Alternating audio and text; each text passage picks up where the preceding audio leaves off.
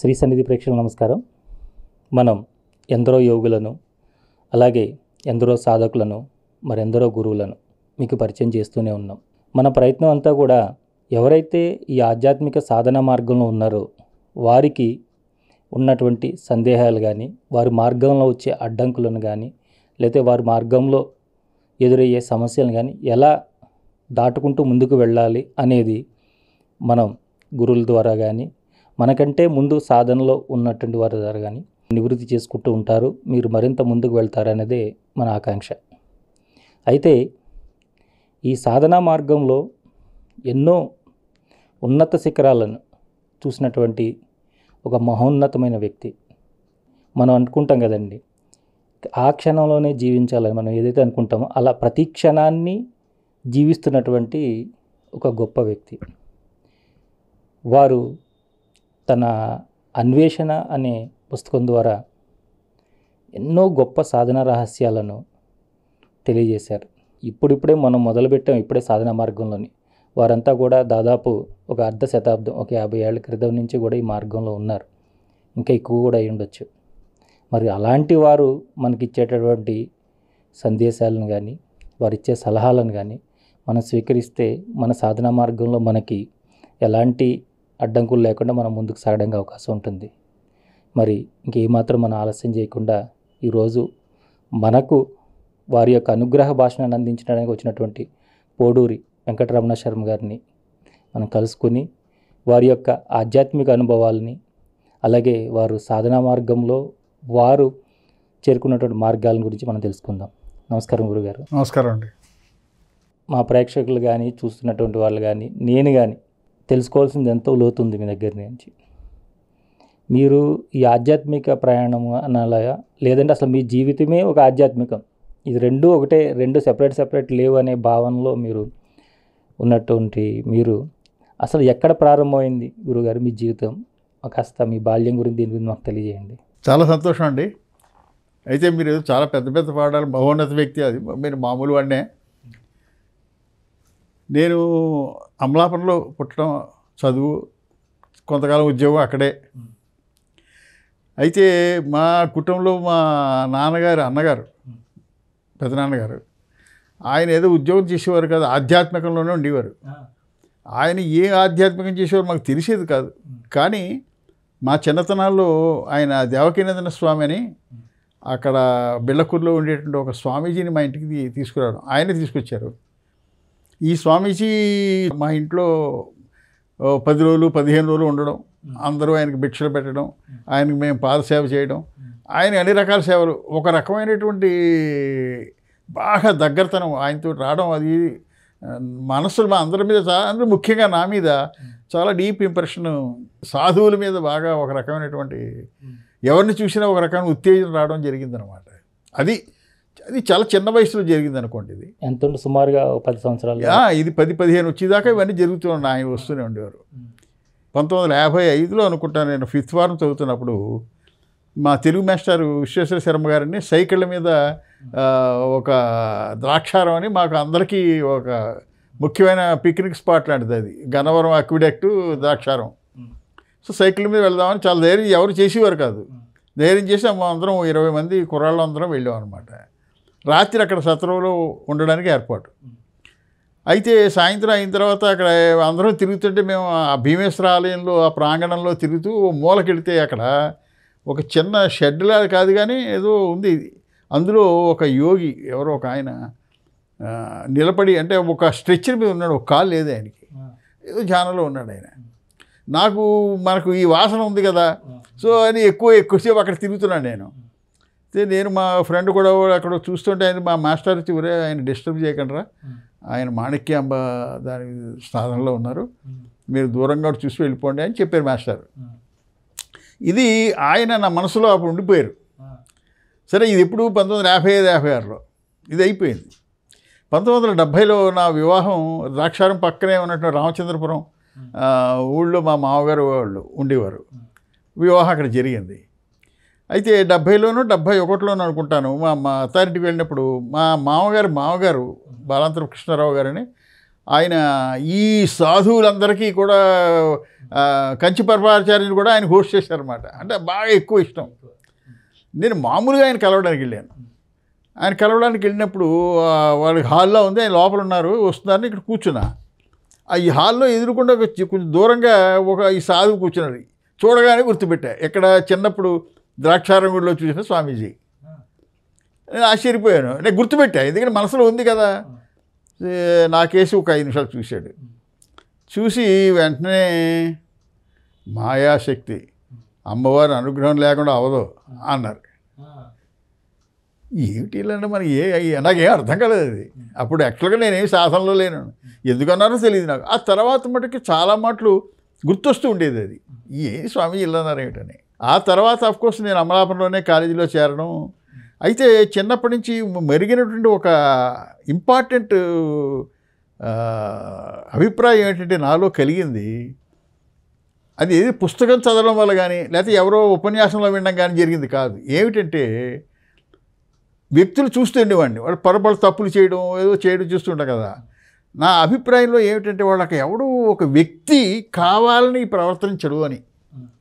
అంటే ఒక రోబోకి కాన్షియస్నెస్ ఉంటే అలాగా జరిగిపోతుంది అది. సో అంచేత మా తమ్ముళ్ళు లేకపోతే తర్వాత ఎక్కడైనా ఆఫీసులో కాలేజీలో ఎవరైనా తప్పుగా ప్రవర్తించినా నేను కోప్పడేవాడిని కాదు. వాళ్ళు నన్ను కొంచెం క్రిటిసైజ్ చేస్తుంటారు. నువ్వు ఏదో మంచివాడని అనిపించుకోవడానికి వాళ్ళని ఏమో అనట్లేదు నువ్వు అనేవాడు నేను. నా లోపల అభిప్రాయం ఇది. వాడు చేస్తున్నాడు అవుతుంది జరుగుతుంది వాడు కాదు. వాడు కావాలని అయితే చేయట్లేదు. అది అక్కడ కూడా ఎవడు వ్యక్తి లేడు. అని ఒక నిశ్చిత అభిప్రాయం లోపల ఉండిపోయింది. దానికి అప్పటికి ఒక సైంటిఫిక్ ఎక్స్ప్లెనేషన్ కానీ ఆధ్యాత్మికంగా దానికి దాని విలువేడు కానీ నాకు అప్పుడు తెలియదు అది. ఇది అయిపోయిన తర్వాత నేను కాలేజీలోనే చేస్తున్నాను. చేస్తున్నప్పుడు మా భార్య ఒక ఆయన వచ్చాడు. ఆయన చాలా సాత్వికుడు. ఆయన ఎందుకు ఆయన ఉన్నాడు? అప్పటికి నేను కూడా ఆధ్యాత్మికం ఏం లేదు. మీరు రామకృష్ణ పరమహంస చదవండి అన్న ఒక మాట వచ్చాడు. కుర్రాలతో ట్యూషన్లో ఉన్నాను. వచ్చి మీరు రామకృష్ణ పరమహంస చదవండి అన్నాడు ఆయన. ఆయన ఎందుకన్నాడో ఆయన చెప్పే పద్ధతి నాకు వెంటనే ఇమ్మీడియట్గా నేను రామకృష్ణ పరమ ఊళ్ళో ఎవరిదో ఉందంటే వాళ్ళ దగ్గరికి వెళ్ళి గోస్పెల్ ఆఫ్ శ్రీ రామకృష్ణ. జ్ఞాన మార్గం ఇది వివేకానందుడి జ్ఞానం. జ్ఞానం మీద ఒకటి ఒక పుస్తకం రాశాడు ఆయన. ఈ రెండు చదివాను అనమాట చదివిన తర్వాత చాలా అప్పటి వరకు భగవంతుడు దేవుడు అన్న వాటి మీద అభిప్రాయాలు వే వేగ్గా ఉండేవి. కానీ గోస్పెల్ అంటే రా- బోధామృతం ఉంటుంది తెలుగులో. అది చదివిన తర్వాత చాలా క్లారిటీ. అంటే సాకారంగా భగవంతుడు నిరాకారంగా ఆకారం వీటికి అది అనేది ఆయన చాలా సంఘటనల ద్వారా పరమహంస చెప్పించి నాకు ఆ పరమహంస ఫోటో తెచ్చుకుని చూస్తే ఆయన అలా మనసులో ఒక రకమైన ఉత్తేజం వచ్చేసేది ఆ ఫోటోలో చూస్తాడు మిగతా వాళ్ళు నవ్వుకుంటూ ఉండేవారు. నేనేమో అలా అవడం చూసి. కానీ అదే టైంలో నాకు ప్రొఫెషనల్గా ఉద్యోగం మారే సందర్భం వచ్చింది. అమలాపురం వదిలిపెట్టి వెళ్ళిపోవాలి. అది పన్నెండేళ్ళు పుట్టినూరు అదే అక్కడే ఉద్యోగం ట్యూషన్లు వేరే కానీ వేరే పరీక్షలు పాస్ అయ్యి పెద్ద ఉద్యోగానికి అవకాశం రావడానికి మారాలి. మా గురువులు అందరూ నువ్వు తెలివి తక్కువడి ఎక్కడ ఇవన్నీ వదిలిపెట్టి ఎక్కడ పోతావు? అనేటి వాళ్ళే తప్ప ఎవడు కానీ ఎందుకో లోపల లోపల నుంచి ఇంత కష్టపడి చదివాం పరీక్షలు పాస్ అయ్యాం అవకాశాలు వస్తున్నాయి కదా అనుకుంటే అప్పుడు నాకు పరమహంస కనుక కల్లో ఏమైనా ఇండికేషన్ ఇస్తే నిశ్చింతగా వెళ్ళిపోదాం అనుకునేది అనమాట ఆ రాత్రి కల్లో పరమహంస అని మాట్లాడలేదు ఆయన దర్శనం అయింది. సో ఇంకా అది గ్రీన్ సిగ్నల్గా తీసుకున్నా. అని తీసుకుని ఇంకా నిర్ణయం తీసుకుని వెళ్ళిపోయాను. ఫస్ట్ టైం జాబ్ నాకు కేరళలో వచ్చింది. అప్పుడు కంపెనీ సెక్రటరీస్ చాలా తక్కువ మంది ఉండేవారు. సో ఫస్ట్ టైం కేరళలో వాళ్ళు ఇచ్చారు వాళ్ళు. అక్కడికి వెళ్ళాను అనమాట కంపెనీ సెక్రటరీగా కంపెనీ సెక్రటరీగా సో అది ఇక్కడ కాలేజీకి సైకిల్ మీద వెళ్ళడం డైరెక్ట్గా సైకిల్ మీద కారు. అంటే మైండ్లో స్కూటర్ ఎక్కలేదు అంటే ఎలా అమ్మవారు ఎలా తీసుకెళ్తుందో. సో అది అయిన తర్వాత మళ్ళీ మళ్ళీ హైదరాబాద్ వచ్చేయడం. అది అయిన తర్వాత ఇది శాసన అంటే ఈ నాకు ఎక్కడ ఆలంబనం దొరకలేదు ఇది. అప్పుడు రామకృష్ణ పరమహంసవి చదువుతూనే ఉండడంలో ఒక మైండ్లో ఒక చోట ఎక్కడో లోపల బయలుదేరింది. ఈయన భగవద్ధ్యా భగవద్ దర్శనం అన్నాడు ఇది అవుతున్నాడు ఇది ఏమిటి ఇది ఈ సెల్ఫ్ రియలైజేషన్ జరగాలి కదా ఎందుకు ప్రయత్నించకూడదు? ప్రయత్నిస్తే దానికి మరి ప్రయత్నించాలంటే గురువు అవసరం కదా. గురువు లేకుండా సాధ్యమవుతుందా అని ఒక ప్రశ్న వచ్చింది. మరి గురువు అంటే ఇప్పుడు ఎక్కడో రమణ మహర్షి సిద్ధి సాయిబాబా వాళ్ళు ఎవరు లేరు ఇప్పుడు. అంత ఉన్నతమైన స్థితిలో ఉన్న భౌతికంగా ఉన్న గురువులు ఎవరో మనకు తెలియదు సో ఇలా కొట్టుమిట్టాడుతూ ఉండగా అది ఒక మాట రామకృష్ణ మఠం వాళ్ళు ఆయన స్వామి రంగనాథానంద రిట్రీట్ కండక్ట్ చేశారు. పొద్దు నుంచి సాయంత్రం దాకా అక్కడే ఆధ్యాత్మికంగా చాలా ఫస్ట్ క్లాస్ వాతావరణంలో చాలా ఎంజాయ్ చేశాం. సాయంత్రం నాలుగింటికి వాళ్ళు ఏమన్నారంటే ఎవరికైనా సందేహాలు ఉంటే మీరు ఒక స్లిప్ మీద రాసి ఈ బాక్సులో వేయండి. స్వామివారు ఏమైనా వీలైతే జవాబులు చెప్తారన్నారు. నేను రాసింది ఏంటంటే ఇక్కడ ఆత్మసాక్షాత్కారం లేదా సెల్ఫ్ రియలైజేషన్కి గురువు యొక్క అవసరం చాలా ముఖ్యమని చాలామంది చెప్పగా విన్నాను. అయితే ఈ గురువు ప్రస్తుతం భౌతికంగా ఉన్న ఏదైనా వ్యక్తి అవ్వాలా లేకపోతే గతంలో ఉన్నటువంటి మహానుభావులు ఎవరినైనా తీసుకోవచ్చా అని సందేహం రాశారనమాట అనమాట రాసి డబ్బులు వేస్తే వాళ్ళు ఆయన తర్వాత ఇంచుమించు ముగిస్తుండగా ఒక వాళ్ళు ఒక అనౌన్సర్ చెప్పాడు రెండు వందలు వచ్చాయి అందులో ఆరే సెలెక్ట్ చేసాం వాళ్ళకే ఇస్తాం జవాబుగా ఆరు లక్కీగా ఆరిట్లో నాది కూడా ఉందన్నమాట. ఆయన చెప్పారు బాగుంది ప్రశ్న. నీకు మనస్సుకి ఎవరు ఇష్టమని? రాముడు అవ్వచ్చు కృష్ణుడు అవ్వచ్చు. ఎవరు ఎవరు నీకు ఇష్టమైతే వాళ్ళని గురువుగా తీసుకో. సాధన స్టార్ట్ చేయి. నీవు నువ్వు ఏం చేసేది చెయ్యి. నీ స్థాయి పెరిగిన తర్వాత అవసరమైతే గురువు ఆయనే వస్తాడు. అందుకే నువ్వు వెతికితే దొరికే జనరల్గా అది కష్టం అది. అని అని. ఎందుకంటే ఎవరు నీ కూరువు? ఎలా నీకు ఎలా తెలుస్తుంది? నీకేమైనా నువ్వు నువ్వు ఎదగలేదు కదా జడ్జింగ్ నీ దగ్గర మెజరింగ్ రాడ్ ఏముంది అంచేత యాక్చువల్గా అట్నుంచే వస్తుంది. అని ఆయన చెప్పడంతో నాకు సరే అయిపోయింది. ఇది అయిపోయిన తర్వాత గురువు కావాలి. ఎవరు? అప్పుడు రెండు సంఘటనలు జరిగాయండి. ఏంటంటే ఒక రోజుని నేను కారులో సండే అనుకుంటాను వేరే పని మీద పెడుతున్నాను. ఒక ఆయన నీ నేను ఒక ఒక హ్యాపీ ఏంటంటే ఎవరు అడిగినా లిఫ్ట్ ఆయన ఆ లిఫ్ట్ అనగానే రెండు ఎక్కండి అన్నాను. పక్కన కూర్చున్నాడు. ఎక్కడికి వెళ్ళాలండి? అన్నాను. రామకృష్ణాపురం అంటే అన్నాడు. ఎందుకండి? అని అంటే అడగచ్చా? అన్నాను. అని లేదు మా గురువు గారిని కలవడం కదా. అప్పుడు అనగానే నాకు గురువు ఆ అనగానే గురువు అనగానే "ఆ, అది నేను కూడా రావచ్చా? అండి అన్న అయ్యో అదేంటి? రండి తప్పకుండా రా" అన్నాడు. నేను వెళ్ళా. ఆయన ఒక రామకృష్ణ మఠంలో పెద్ద గురువు. ఈ సిరిది డివోటీస్ అందరికీ ఆయన్ని వాళ్ళు తీసుకుని సిరిది తీసుకెళ్తూ ఉంటాడు. సిరిది సాయి పెద్ద విగ్రహం పెట్టుకుని వాళ్ళంతా చాలా సత్సంగం చేసుకున్నారు. భజన అయింది. అంతా అయిపోయిన తర్వాత ఇంక వెళ్ళి ముందు నేను ఒక్కడిని ఆయన దగ్గరికి వెళ్ళి నా నాతో వచ్చిన ఆయన అడిగాడు మీరు ఏమైనా అడగాలంటే అడగ. అప్పుడు అడిగాను అనమాట ఏమంటే మరి గురువు ఎలా చూస్తాడు ఆయన కాసేపు ఆలోచించి మీరు గురు చరిత్ర చదవండి. గురు చరిత్ర చదివి సిరిది వెళ్ళిరండి. ఆయన చూశాడు దారి అన్నాడు. మీరు కలిసిన ఆయన పేరు తెలుసండి? ఆ పేరు మర్చిపోయారండి ఆయన పేరు ఆయన రామకృష్ణ రామకృష్ణపురంలో ఉండేవాడు ఆయన. రామకృష్ణపురం అంటే ఏ ఏ? అంటే ఇక్కడ దిల్సుఖ్ నగర్ అవతల రామకృష్ణ. హైదరాబాద్లోనే. హైదరాబాద్లోనే. హైదరాబాద్లోనే మన. అలా చెప్పిన తర్వాత గురు చరిత్ర వెంటనే పుస్తకం కొని చదివేసి సిరిది వెళ్ళి వచ్చాం సిరిది వెళ్ళి వచ్చిన తర్వాత ఒక రోజు నైట్ నాకు కల్లో యంగ్ సిరిది సాయి ఉన్నారు కొంచెం ఒకటి ఉంది. ఆయన కల్లోకి వచ్చాడు. నేను కూడానే తెలిసిపోతుంది కానీ ఏమీ అనలేదండి జ్ఞానం జ్ఞానం జ్ఞానం. నాకు ఆ జ్ఞానం పద ఆ పదం ఎందుకు వాడారో నాకు తెలియదు అది జ్ఞానం ఇమ్మని అంతే. అంతే ఇది కదా ఇప్పుడు మెలుగు రాగానే చాలా థ్రిల్ ఫీల్ అయిపోయాను. అప్పుడు నాకు వేరే పూజ గది ఉండేది. రాత్రి మూడు తెల్లారగట్ట మూడు వెళ్ళిపోయి పూజ గదిలో కూర్చున్నా. అప్పుడే అందులో ఈ గురించి చదివేప్పుడు చ- ఏవో ఉండి పువ్వులనే వాసన సువాసనగా ఉంది అక్కడ ఒక గంట అందులో కూర్చుండిపోయా ఎందుకంటే అది ఏదో మామూలుగా కాదు ఇది చాలా ఇంపార్టెంట్ అనేటువంటిది. సరే అన్నారు కానీ మనకి గురువు సమస్య తీరలేదు కదా. అలాగే ఆయన జ్ఞానం అడిగాను. నేనే గురువునే ఏం చెప్పలేదు. మనకేమీ ఇది ఇండికేషన్ రాలేదు. సరే ఆ తర్వాత నేను స్ట్రీట్ నెంబర్ ఎయిట్లో ఉండేవాడిని. స్ట్రీట్ నెంబర్ హస్తిగూడ హైదరాబాద్లో. స్ట్రీట్ నెంబరు ఫోర్లో మా మిస్సెస్ యొక్క పింతండ్రి గారు ఉండేవారు. ఆయన ఎప్పటి నుంచో రమణ మహర్షి బదులు నాకు అప్పుడు అది ఎక్కువ తెలియదు ఆయన గురించి. వారి ఇంటికి వెళ్ళాను ఏదో వేరే విషయం మాట్లాడడానికి. టీవీ ఫ్రిడ్జ్ మీ పైన రమణ మహర్షి ఫోటో పెద్దది ఒకటి. చాలా బాగుంటుంది. చాలా ఇంప్రెస్ అయిపోయాను. అఫ్ కోర్స్ అంతకు ముందే నేను రమణ మహర్షి పా పాల్ బంటన్ పుస్తకం చదివాను కానీ అలా మామూలుగానే చదివాను. అయితే అంతకుముందే రమణ మహర్షి ఇది నాకు ఉంది. ఎప్పుడంటే మా పెదనాన్నగారు చిన్నప్పుడు నేను చెప్పాను కదా ఆయన ఈ ఆంధ్రప్రభలో సూర్య నాగమ్మ గారి లేఖలు సీరియలే చేసేవారు. అప్పుడు ఫస్ట్ టైం. చేసినప్పుడు ఆ ప్యాప్ పేజీలో ఒక మూల రమణ మహర్షి బొమ్మ ఉండేది అనమాట అది మనసులో ఉండిపోయింది నాకు. ఇది చూడగానే గుర్తొచ్చింది రమణ మహర్షి ఓహో అని ఆయన సరే ఆయనతో మాట్లాడి వచ్చేస్తుంటే సోఫా మీద ఓ పుస్తకం ఏదో ఇలా తెరిచి ఉంది.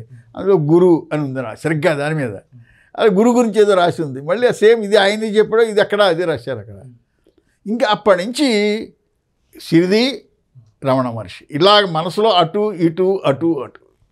ఇదే సిచ్యుయేషన్లో నేను అప్పుడు ప్రతి ఏడాది కంపెనీ సెక్రటరీస్ కాన్ఫరెన్స్ మాకు జరుగుతుంది. ఒక్కొక్కప్పుడు ఓ టౌన్లో జరుగుతుంది చెన్నైలో పెట్టారు. మూడు రోజులు. సరే నేను ఆఫీస్ తరఫునే కంపెనీ మూడు రోజులు చెన్నైలో వెళ్ళి చెన్నైలో హోటల్లో దిగి ఫస్ట్ డే అటెండ్ అయ్యాను. ఫస్ట్ డే అటెండ్ అయ్యి మొన్నటి పొద్దున్న ఇంకా బయలుదేరుతుంటే సడన్గా ఇంకా లోపల ఏమొచ్చిందో తెలియదు అన్నీ సర్దేసి తిరువణామలై బస్సు ఎక్కేసాను ఆ, అరుణాచల్లో ఇంక కాన్ఫరెన్స్ లేదు ఏం లేదు. వెళ్ళిపోయి చిన్న హోటల్లో దిగి అరుణాచలేశ్వర టెంపుల్కి వెళ్ళి అంతా చూసుకుని అక్కడ ఆ ప్రాంగణం ఉంది చెట్లు ఉన్నాయి. అక్కడ కూర్చున్న సాయంత్రం దాకా అలా కూర్చున్నాను. అలాగా సాయంత్రం అరౌండ్ నాలుగున్నర ఐదుకి అప్పుడు ఇంకా అరే ఇక్కడ ఇదో మరి ఇక్కడ రమణ మహర్షి ఆశ్రమం ఉంది కదా అక్కడికి వెళ్ళాలని అక్కడికి వెళ్ళా. ఎవరు ఎప్పుడు అంతకు ఎప్పుడు వెళ్ళలేదు నాకు ఎవరు పరిచయం లేదు. వెళ్ళిన తర్వాత ఆయన మహర్షి యొక్క తమ్ముడు గారే ఆయన ఆశ్రమం ఆయనకు రెండో కొడుకు మణిగారని వాడు చాలా సాత్వికుడు. నన్ను చూసి ఇలా ఏమిటో ఆశ్రమం చూసారా అని అడిగి నేను మరి ఇక్కడ ఉండొచ్చా? అంటే మేము టూరిస్టులకి ఇవ్వము ప్రత్యేకంగా ముందు రాస్తేనే డివోటీస్కి ఇస్తాం. అన్నారు. అనగా ఇంక నేమనలేదు ఆయన పర్లేదు మీరు రెండు రోజులు ఉండండి. అని ఏం ఆయన ఏం చూశాడో? అని అకామిడేషన్ ఇచ్చాడు. అకామిడేషన్ ఇచ్చిన తర్వాత రూమ్లో సామాను పెడుతుంటే ఇద్దరు ఆడవాళ్ళు ఎవరో బయటకు వస్తుంటే వాడు స్కందాశ్రమం అని ఏదో అంటున్నారు. నేను కూడా వస్తానండి ఎక్కడికి వెళ్తున్నారు మీరు? అన్నాను. అయ్యో రండి అని వాళ్ళేమో వాళ్ళతో స్కందాశ్రమం అని మహర్షి ఆ ఆశ్రమం వెనకాల కొండ మీద గుహ అందులో ఉన్నారు చాలా కాలం. అక్కడికి పెడుతున్నారంటే వాళ్ళేంటి నన్ను ఎందుకు రమ్మన్నారంటే వాళ్ళు ఆడవాళ్ళు ఇద్దరు నువ్వు వెళుతున్నారు కదా మన తోడు ఉంటాడు సాయంత్రం అని నన్ను రమ్మన్నారు. సరే వాడు వెడుతుంటే వాళ్ళు పది మాటలు మాట్లాడుతుంది ఎనిమిది మాటలు నాన్నగారు నాన్నగారు నాన్నగారు అన్నాడు. ఏమిటి ఎవరండి ఈ నాన్నగారు అన్నాడు. నాన్నగారు జిన్నూరులో ఉంటారండి ఆయన మా గురువు గారు రమణ మహర్షి భక్తులు. రమణ మహర్షిని ఈస్ట్ వెస్ట్ గోదావరిలో పరిచయం చేసిన వారు వారే. అయితే ఏమిటంటే మరి ఈ మహర్షి ఏం చెప్తాడు ఈ బోధన అంటే మీరు ఆ విచారణ అంటే విచారణ చేయాలి ఆత్మవిచారణ చేయాలి. అని అంతేకాని అది ఏమిటో చెప్పలేదు నాకు. ఎలా చేయాలో ఏమిటో చెప్పలే. మొన్నడు వాళ్ళే తీసుకెళ్ళి పుస్తకం తీస్తే ఇక్కడ who am I Bhagavan first అది ఫస్ట్ టైం భగవాన్ అసలు అద్వైతం మీద అది చదివిన తర్వాత ఆయన ఒక కొన్ని స్టెప్స్ చెప్పారు. అయితే ఆ పుస్తకంలో చెప్పింది ఏంటంటే నువ్వెవరో తెలుసుకో. ఎలా తెలుసుకుంటావు? అంటే అందరూ వాళ్ళు వాళ్ళు అది ఏంటి నీవు నువ్వు చూసేది నీకు తెలిసేది నువ్వు కాదు. నువ్వు చూస్తున్నావు ఎదురుకుండా పుస్తకం ఉంది చూస్తున్నావు. అది- నువ్వు కాదు తెలుస్తూనే ఉంది అది. అలాగే నీ నీ శరీరం కాళ్ళు చేతులు చూస్తున్నావు. చూస్తున్నావు కాదు నువ్వు అవి కావు నువ్వు కాదు. ఎందుకంటే కాలు తీసేసినా నువ్వు ఉన్నావు. నీకు తెలిసేది లోపలికి వెళ్ళి గుండె కొట్టుకుంటుంది తెలుస్తుంది. ఆలోచనలు తెలుస్తున్నాయి. సుఖం దుఃఖం తెలుస్తున్నాయి. అవేవి నువ్వు కాదు. అవన్నీ మీకు ఆబ్జెక్ట్సే. వీటన్నిటినీ తెలుసుకున్నటువంటి ఎరుక స్ఫురణ ఏది ఉందో అది నువ్వు. అక్కడ దాకా వెళ్ళాలి. ఆ నేను అంటే అది. ఈ నేను ప్రాపర్ దగ్గరికి వెళ్ళి హోల్డ్ చేయాలి. ఆయన ఏమన్నారంటే అది ఫాల్స్ ఐ అని ఆయన ఇంగ్లీష్లో దట్ ఈజ్ ఫాల్స్ ఐ అది అదే అదేమి ఇది అది ఫాల్స్ ఐ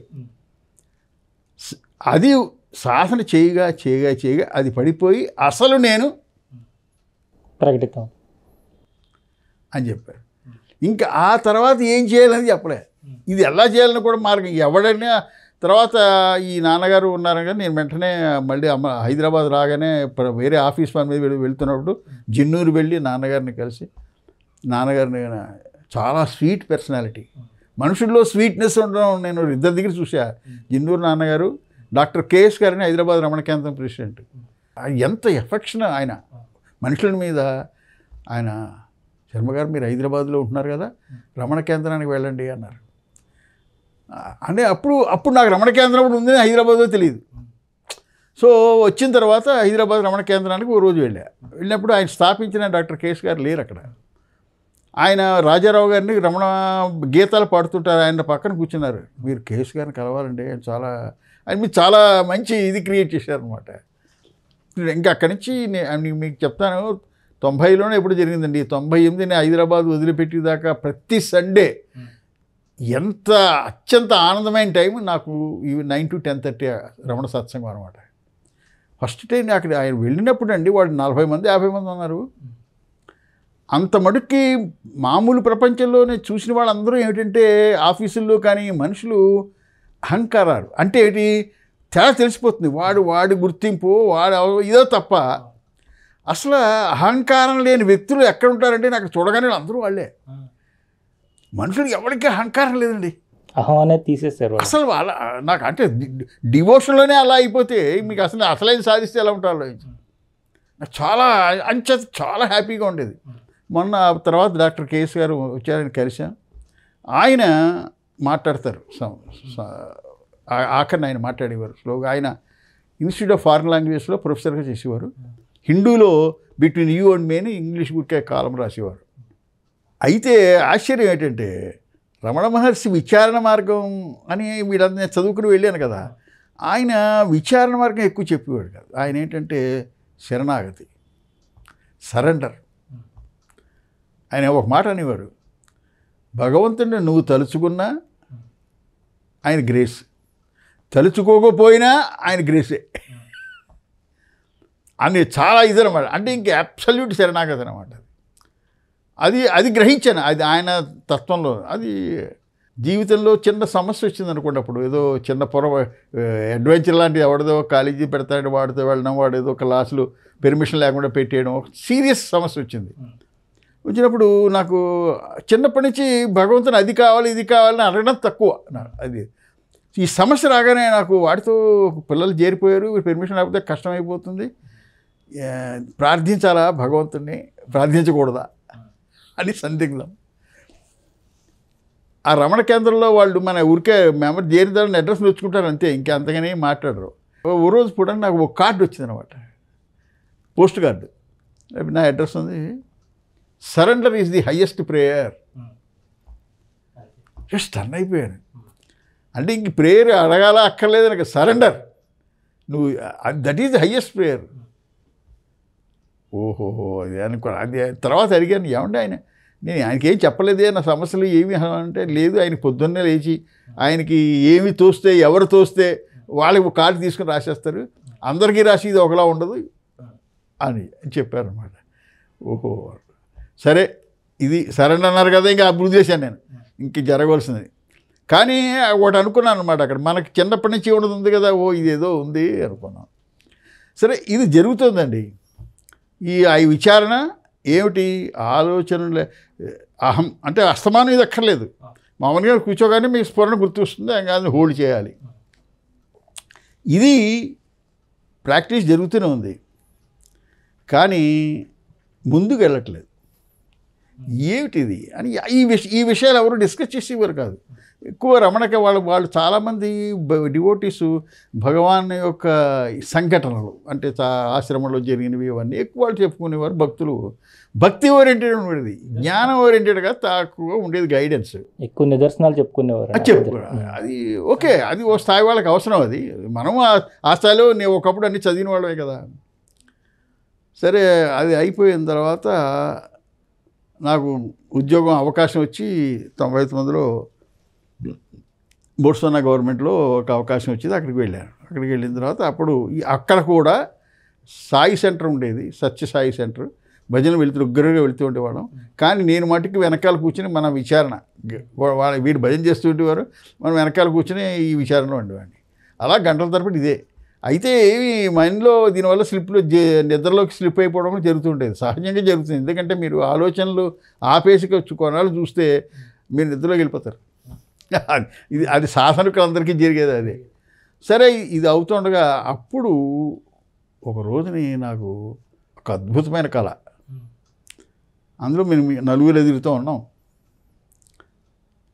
రమణ మహర్షి అక్కడ ఉన్నారండి అన్నాడు ఎవడో అక్కడ ఉన్నారా అయితే చూద్దామని నేను అలా ఇలా తిరిగి అలా వెళ్ళాను అనమాట వెళ్ళగానే అక్కడ రమణ మహర్షి నవ్వుతూ నాకేసి చూశారు?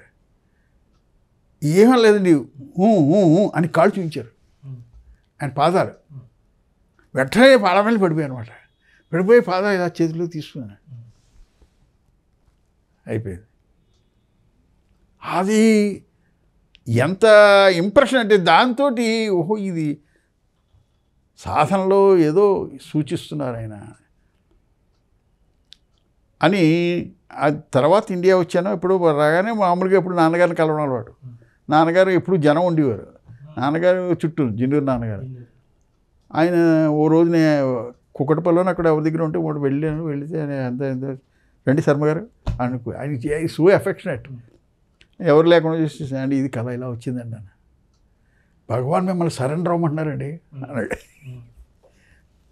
సరెండర్ అవ్వమంటున్నాడు నాకు అది గుర్తొచ్చింది అక్కడ సరెండర్ ఇక్కడ సరెండర్. అంటే ఈ సాధనకి నువ్వు చెయ్యి. ఎందుకు ఆతృత ఏదో కావాలని ఏదో జరగాలని? నీ చేది చేయి. సరెండర్. ఆయన వదిలేయి. పరమాత్మ నువ్వు నువ్వు ఏదో ఏదో జరిగిపోవాలని ఎందుకు అనుకుంటావు? సరెండర్ అయిపోతున్నాడు భగవాన్ మీరు చేయి కంటిన్యూ చేసుకోండి అన్నాడు ఆయన. ఓహో బాగుందనుకుని. ఆ తర్వాత వచ్చేసాను మళ్ళీ ఇండియా వెళ్ళిన తర్వాత ఓ రోజు ఒక సంవత్సరంలో మనకి వచ్చిన వెళ్ళినప్పుడల్లా అరుణాచలం వెళ్ళవలసిందే. ఇండియా వచ్చినప్పుడల్లా? అయ్యో తొంభై ఒకటి నుంచి అరుణాచలం అసలు ఆ అరుణాచలం చూడగానే ఒక రకమైన ఆనందం. ఆ మాట అరుణాచలేశ్వర టెంపుల్లో ఉన్నామలే అమ్మాను ఆవిడే అపీత్ కూచాంబ. ఆవిడ దర్శనం చేసుకున్న తర్వాత ఎప్పుడు కూడా ఇక అరుణాచలేశ్వరుడు భగవాన్ పట్టుకున్న అమ్మవారిని అమ్మవారు అప్పుడు ఎందుకో గుర్తొచ్చింది నాకు. ఈ అమ్మవారు అమ్మవారు అన్నాడు ఆయన.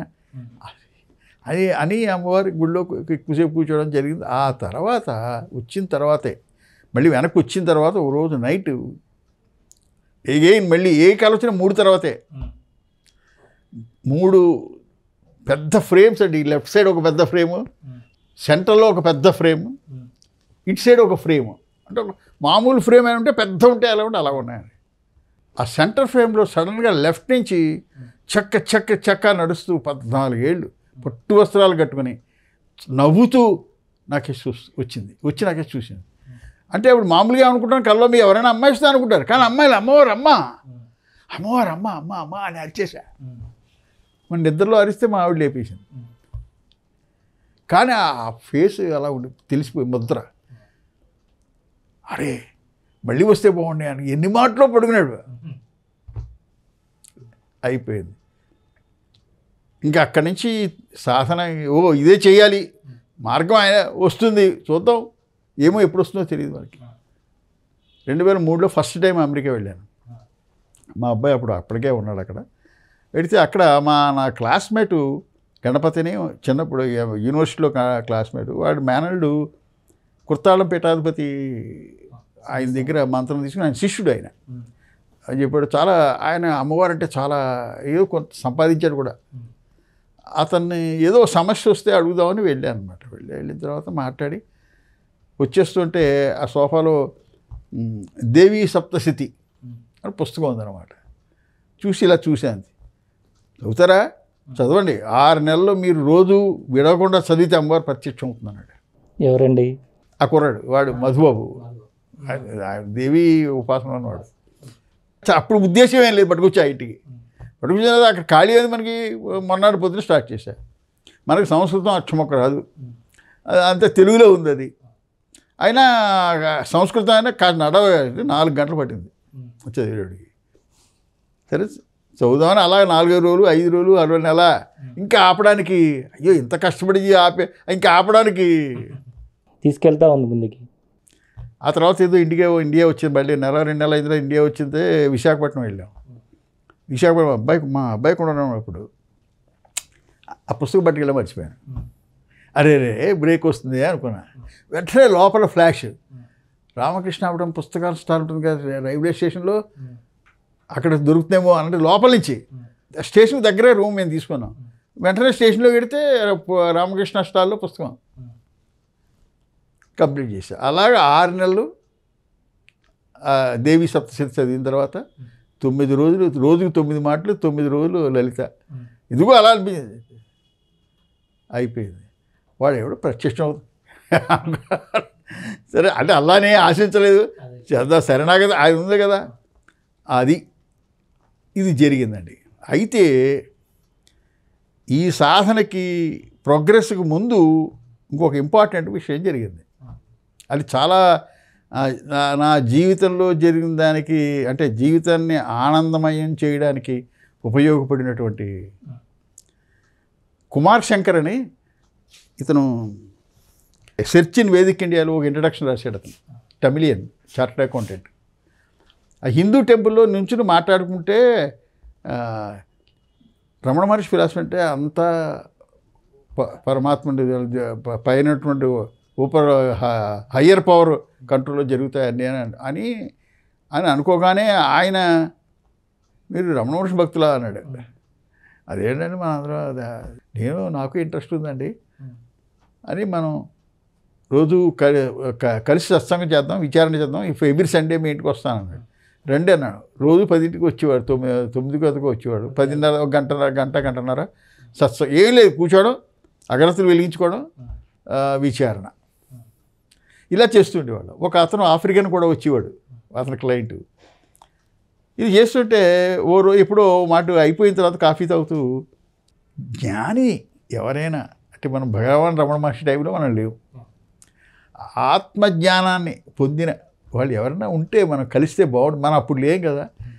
ఉంటే ఎలా ఉండేదో ఇప్పుడు అలాంటి వాళ్ళు ఎవరు లేరా? మనం కలవలేమా? అని ఒక మాట డిస్కస్ ఈ అయిపోయిన తర్వాత నేను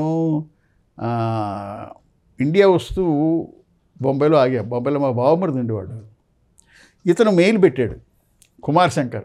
మనం అనుకున్నాం కదా మీరు జ్ఞాని జ్ఞాని బొంబాయిలో ఉన్నాడు.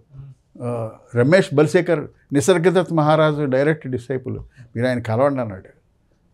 అనగానే వెంటనే నేను చేసి కొనుక్కుని ఫోన్ చేసి ఆయన ఇంటికి ఫోన్ చేశా. ఆయన ఫోన్ చేస్తే ఎవరో ఎత్తారు ఆవిడ. బల్శేఖర్ జర్మనీ తీసుకెళ్ళారండి ఎవరో జర్మనీ వెళ్ళారు అన్నాడు అరే రే అనుకున్నా. కానీ మళ్ళీ రిటర్న్ వచ్చేటప్పుడు కూడా మళ్ళీ బొంబాయిలో ఎక్కాల ఫ్లైట్ సో బొంబాయిలో వచ్చినప్పుడు దొరికాను. ఇగో ఇరవై మంది ఉంటారండి. నేనే ఇండియన్ని నేను ఒక్కడే ఇండియన్ని అందరూ అందరూ ఫారినర్సే వాళ్ళందరూ ఆయన కలవడం కోసం వచ్చి హోటల్స్లో దిగి ఆయనకు వచ్చి సత్సంగంలో అటెండ్ అయ్యి వెళ్ళిపోతుంటారు అనమాట కేవలం ఆత్మజ్ఞానం గురించి తెలుసుకోవడం కోసం. అసలు అది అది ఏమిటి? ఫిలాసఫీ నిసర్గదత్ మహారాజు అంటే అప్పటికే ఐఆమ్ దట్ అని నిసర్గదత్తది ఆన్ ఫేమస్ అయిపోయింది అది. సో ఆవేళ నన్ను హాట్ సీట్ అనేవారు. ఎందుకంటే ఆయన కూర్చుంటే ప్రశ్నలేసి టక్క టక్క వేస్తాడు ముందు ఎవరో ప్రశ్న వేస్తే చెప్పాడు ఆయన. చెప్పాడు. నాకు ఆశ్చర్యం వేసింది. అప్పుడు ఏమిటంటే నేను చిన్నప్పటి నుంచి నాకు జరిగినటువంటి ఒక ఆలంబన ఉంది కదా మనుషుల్లో ఎవరూ లేరు. ఆయన ఒక స్టేట్మెంట్ చెప్పాడు. Events happen deeds are done but there is no individual doer ఇంతే. బుద్ధ అంటాడు. గౌతమ బుద్ధ అన్నాడు Buddha. It is a statement Buddha. అంటే బుద్ధిజంలో జ్ఞానులందరినీ బుద్ధ అంటారు. It is a statement by a Buddha. Events happen deeds are done but there is no individual doer so ఏమిటి దాని philosophy ఏంటంటే ఒక కాన్సెప్ట్ అనుకో ఇది first letters going to the details letter but I'm giving a can concept అంటే ఒక proposal ఆ లెక్కని భగవంతుడు కూడా కాన్సెప్టే. ఎవడు చూశాడు? నువ్వు నువ్వు నమ్ముతున్నావు ఏం చేస్తున్నావు? ఇట్స్ ఎ కాన్సెప్ట్ సో ఇది ఈ కాన్సెప్ట్ ఏంటంటే everything happens according to the will of a higher power మొత్తం ఏది జరిగినా ఆ అనంత చైతన్యం యొక్క శక్తి యొక్క దాని వల్ల జరుగుతుంది. ఫస్ట్ ఇది నమ్ము. ఇది నమ్మితే ఏమవుతుందంటే అందరం పనులు చేస్తాం. ఒక ఫలితం ఆశించి చేస్తాం అంటే ఇది ఆయనది గీతలోదే వేరే వేరేలే చెప్పాడు. ఒక మనం ఏ పని చేసినా ఒక ఫలితం ఆశించి చేస్తాం ఫలితం అన్ని మాటలు నువ్వు అనుకున్నట్టు వస్తుందా? లేదే. నువ్వు ఎన్ని మొక్కులు మొక్కు ఎన్ని పుణ్యక్షేత్రాలకు వెళ్ళు ఎన్ని ఎక్కడికి వెళ్ళు ఎవడైనా నాకు ఒక్కడైనా చూపించు. ఎవడైనా వాడు అనుకున్నది అన్నీ అన్ని మాటలు జరిగిందని ఎవడే చేయదు. జరగట్లేదు. ఎందుకు అవ్వట్లేదు? నువ్వు నువ్వు- నీవు చేసింది చేసావు. కానీ అంటే అర్థం ఏమిటనమాట దాన్ని ఎవరో అదృశ్య శక్తి కంట్రోల్ చేస్తుంది. ఆ అదృశ్య శక్తి ఏదో శక్తి అను లేకపోతే బా- దేవుడను భగవంతుడను నీ చేతిలో లేదు. ఇది ఫ్యాక్టే కదా. ఇది నువ్వు బిలీవ్ చేసావు. అయితే ఇది నమ్మావు అనుకో ఇప్పుడు నిన్నే అనుకున్నావు. బ్యాక్ పాకెట్లో పర్సు పెట్టుకుని బస్సు ఎక్కావు. బస్సు దిగ్గానే చూసావు. అందులో పదివేలు ఉంది. చూడగానే పర్సు పోయింది. మామూలుగా అయితే ఏమైనా ఏం చేస్తావు? ఈ ఈ కాన్సెప్ట్ లే ముందు. అయ్యో నాకు బస్సు ఎందుకు ఎక్కాను? బ్యాక్ పాకెట్ ఎందుకు పెట్టాను? అసలు ఆటోలో వెళ్తే వెళ్ళరు కదా? ఎంత పిచ్చే ఇప్పుడు ఎక్కిన తర్వాత చూసుకోవద్దా? నిన్ను నువ్వు నిందించుకుని నిస్పృహ గుర్తొచ్చినప్పుడల్లా బాధపడుతున్నావు ఓకే? అలా కాదు. నీ వంట పట్టింది అనుకో. ఏది? అంతా పరమాత్మ వల్ల జరుగుతోంది అన్న కాన్సెప్ట్ వంట పట్టింది అనుకో వెంటనే. ఓకే? జరగవలసింది జరిగింది. అది దానివల్ల జరిగిపోయింది అయిపోయింది వెంటనే ఇప్పుడు ఏం చేయాలి నేను? నా కార్డులే ఉన్నాయి. కార్డులు వెంటనే బ్లాక్ చేయాలి. పోలీస్ కంప్లైంట్ ఇవ్వాలి. ఏం చేయాలో అది ఆలోచిస్తాను అంటే అర్థం ఏంటంటే ఏ దుర్ఘటన జరిగినా నీకు అది గుర్తొచ్చినప్పుడల్లా బాధిస్తుంది. ఒక ఒక తల్లికి ఒక బిడ్డ పోయింది అనుకోండి ఎంత కష్టం అది. కానీ మత్తిచ్చి పడుకుంటే ఏముంది? మళ్ళీ మెలికొస్తే గుర్తొచ్చినప్పుడల్లా బాధపడుతుంది. కానీ ఆ కొన్నేళ్ళు అయిన తర్వాత మర్చి ఆవిడకి నవ్వుతూ చెబుతుంది అదే విషయం. అంటే అర్థం ఏంటనమాట? గుర్ కొ- కాలం వల్ల కొంత తగ్గిపోతుంది అది. సో నీకు ఈ ఏ సంఘటన యొక్క దుర్ఘట దుష్ఫలితమైనా నువ్వు అది గుర్తొచ్చినప్పుడల్లా కొన్నాళ్ళు బాధపడుతుంది. అయితే నువ్వు చేయగలిగింది ఏమిటంటే ఈ కాన్సెప్ట్ వల్ల నువ్వు మిగతా వాళ్ళందరికంటే వెంటనే బయటపడిపోతావు. ఎప్పుడైతే నువ్వు యాక్సెప్ట్ చేసావో చేయడం వల్ల ఓ అయిపోయింది. అనగానే ఇంకా నీకు అది గుర్తు రాదు ఎక్కువ. ఒక మాట వచ్చినా ఇంకా దాని పెయిన్ ఉండదు. నువ్వు ముందుకు వెళ్ళిపోతావు. నువ్వు జీవితంలో ఇది అప్లై చేసి చూడు. ఎంత ఆనందం ఉంటుందో. అంటే అంటే జీవితం అంటే ఏమిటి? ఆనందంగా గడపడం కదా. ఇది ఇది నేను జీవితంలో అసలు ఇంకా నిజమే అది? అది చాలా వంటపడి అది చెప్పగానే మన ఇదివరకే ఉండదు కదా. ఓకే. ఒక పని చేసావు. దుష్ఫలితం వచ్చింది ఇలా ఒక్కొక్కప్పుడు నువ్వు అనుకోని కంటే ఎక్కువ వచ్చింది. చాలా పెద్ద అవకాశాలు వచ్చాయి మంచి లాభాలు జరిగాయి. అది సబ్ అక్కడ కూడా ఈ కాన్సెప్ట్ గుర్తుపెట్టుకో. ఏమిటది? అంతా ఆయన ఇచ్చింది నువ్వు నేను చేశాను అనుకో గర్వం. గర్వం పెరగానే నీకు అహంకారం పెరుగుతుంది. అది వినాశనానికి అప్పుడు డెఫినెట్గా దారితీస్తుంది. ఎవడు లైక్ చేయడం. ఏమంటే అహంకారంగా మాట్లాడేవాడిని మనం ఎవరో లైక్ చేయము. సహజం అది. సో నీకు అది ఫెయిల్ అయినప్పుడు ఎలా తట్టుకున్నావు? అంటే అసలు ఉండదని ఉంటుంది కానీ వెంటనే పెట్టుబడిపోతావు. సో సక్సెస్ అయినా అదే. రైట్ నీకు. Apply to third party third party వాడు వాడి మంచి ఇంప చాలా కాస్ట్లీ ఫ్లాస్క్ అక్కడికి బీరోలో పట్టరారా అన్నావు. వాడు పట్టుకొస్తున్నాడు చాలా కాస్ట్లీ నీకు చాలా ఇష్టం అది. డెబ్బై వేలు బయలు వేసాడు మామూలుగా ఏం చేస్తావు? ఎలా తిడతావు అన్ని బూతులు తిడతావు కొట్టడానికి చేస్తావు ఏదైనా చేస్తావు. ఈ కాన్సెప్ట్లో ఓకే డోంట్ వరీ చివురు పట్టరా తుడిచేయి. ఒకడొకడో ప్రశ్న వేశాడు. మరి వాడిని కేకలేకపోతే వాడు బుద్ధి లేదా జ్ఞానం లేదా మళ్ళీ కదా. పిచ్చివాడా వాడు దానికే ఏడుస్తూ ఉంటాడు వాడు నువ్వు నువ్వు నువ్వు అడిస్తే మారిపోడు వాడు అది లోపల ఉంటుంది. ఇంకో మాట జాగ్రత్త ఆటోమేటిక్గా ఇస్తాడు నువ్వు నీ అరిస్తే నీ నువ్వు కక్కుతున్నావు కానీ వాడి వల్ల దాని దానివల్ల వచ్చేస్తుంది అనుకోవడం నిన్ను నీ సమర్థించుకోవడం. నీ ఉద్రేకాన్ని నువ్వు సమర్థించుకుంటున్నావు తప్ప దానివల్ల వాడికి ఏం ఉపయోగం లేదు అని చేత మాట్లాడుకో నీ ఫిలాసఫీ ఏంటి? వాడు ఎవడు లేడక్కడ it had to happen happened. జరగవలసి జరిగిపోయింది. ఆ సిలువ వేసిన తర్వాత వాళ్ళని ఓ god please forgive them. They know not what they are doing. అని క్రైస్తు మాటలకు అర్థం ఏమిటనుకుంటున్నావు? ఇదే. ఎంత గొప్ప జ్ఞానైనా వాడు గుర్తించేది ఏంటంటే వ్యక్తి లేడు జరుగుతోంది. అని మీకు అక్కడ నిసర్గదత్ మహారాజు గారు ఈయన మొత్తం ఇదే ఆయన కాన్సెప్ట్ ఎక్స్ప్లెయిన్ చేశాడు. అయితే ఇంకా ప్రశ్న వచ్చింది. మరి దీనికి సైంటిఫిక్ ఎక్స్ప్లెనేషన్ అంటే నీ ఎందుకు నమ్మాలి? ఏదో దానివల్ల జరుగుతుందని. నువ్వు చేసే పని నువ్వు చేయట్లేదు అన్నదానికి శాస్త్రీయంగా ఏమిటి ఇస్తావు? రైట్ నువ్వు ఏ పనైనా చేసినప్పుడు ఏం జరుగుతుంది? పని జరిగి ముందు ఆలోచన వస్తుంది. ఆలోచన వస్తుంది. ఇదే అడిగాడు నన్ను. నీకు ఆలోచన వస్తుందా? నువ్వు తెచ్చుకుంటావా? అన్నాడు. నాకు అప్పటివరకు ఈ ప్రశ్న ఎప్పుడు ఆలోచించలేదు. ఒకప్పుడు వస్తుందో మాట తెచ్చు నీ నెక్స్ట్ ఆలోచన ఏంటి? అన్నాడు. నీ నెక్స్ట్ ఆలోచన ఏంటి? అన్నాడు. ఏం తెచ్చుకోలేం కదా. ఆలోచనలు వస్తాయి. అని చెప్పాడు ఆలోచనలు వస్తాయి. తెచ్చుకోవడం కుదరదు. ఆలోచనలు నువ్వు తెచ్చుకోవడం అంటే నీకు దాని మీద కంట్రోల్ ఉన్నట్లు లెక్క. కంట్రోల్ కనుక ఉంటే శ్మశానంలో నీ తండ్రిని కా కాల్చి వచ్చావు. ఆ బాధ ఇంకా ఉంది. నీ కంట్రోల్ ఉంటే అది గుర్తు రాకూడదు అసలు. వెంటనే నువ్వు వెళ్ళి సినిమాలో కూర్చోవాలి. చూడవా? ఆలోచనలు వస్తాయి. నీవు నువ్వు తెచ్చుకోవు. అయితే ఫస్ట్ థింగ్ నువ్వు కర్తవు కాదనడానికి చెప్పడానికి చెప్తున్నాడు ఆయన. ఆలోచనలు వస్తుంది ఎక్కడి నుంచి వస్తుంది? అంటే ఎక్కడి నుంచి వస్తుందో దాని మీద కంట్రోల్ ఉంటే మరి ఇది లెక్క కదా. ఎక్కడి నుంచి వస్తుంది? రెండు సోర్సెస్. ఏమిటా రెండు సోర్సెస్? అయితే మన భారతీయ సంస్కృతిలో అయితే వాసనలు అని ఒకటే పదం ఉంది. నీకు గతంలో జరిగిపోయినవన్నీ ఈ ఐదు ఇంద్రియాల ద్వారా ఏమి గ్రహించినా వాటి ఇంప్రెషన్స్ అవి ఉండిపోతాయి అక్కడ. ఆ ఇంప్రెషన్స్ కొన్ని నిశ్చితమైపోతాయి కొన్ని ఉంటాయి. అవి మీకు లేటెస్ట్ అన్నీ గుర్తుంటాయి నువ్వు చేస్తుంటావు యాక్ట్ చేస్తూ ఉంటావు. నీకు వచ్చే కళలు కూడా యాక్చువల్గా అందులోంచే. అయితే మనం వాటి పునర్జన్మలను నమ్మిన వాళ్ళు అంటే గత జన్మలని చెప్పుకుంటారు. పునర్జన్మ అనేది ప్రూవ్ చేయలేము. నమ్మకమే.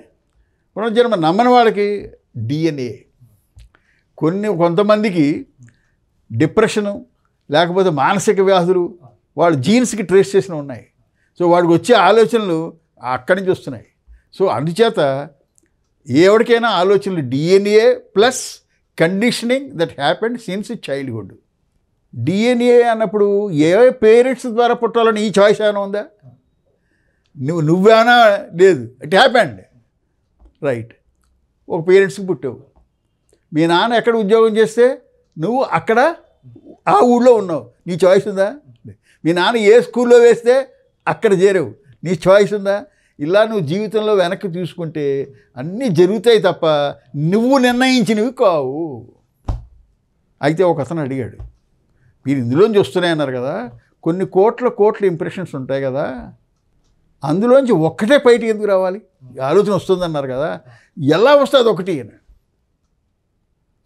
దానికి ఆయన ఒకటి చెప్పాడు.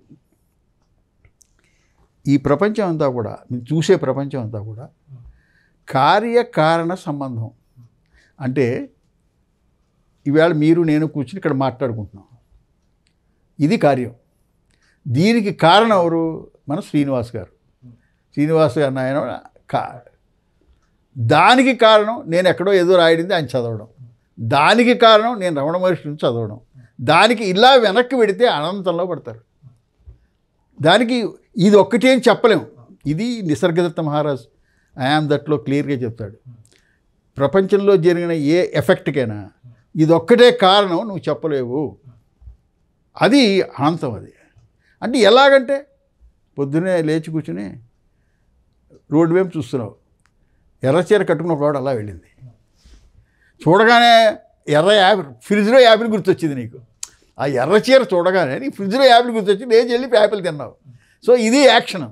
దీనికి కారణం? ఆవిడ అలా వెళ్ళడానికి కారణం? ఎందుకు ఎవరింటికో వెడుతుంది నువ్వు అలా వెళ్ళి వెనక్కి వెళ్ళిపోతావు అంతే అనంతంలో వెళ్ళిపోతావు. అంచేత నువ్వు వెతక. వస్తుంది. అంచేత ఆలోచన వస్తుంది.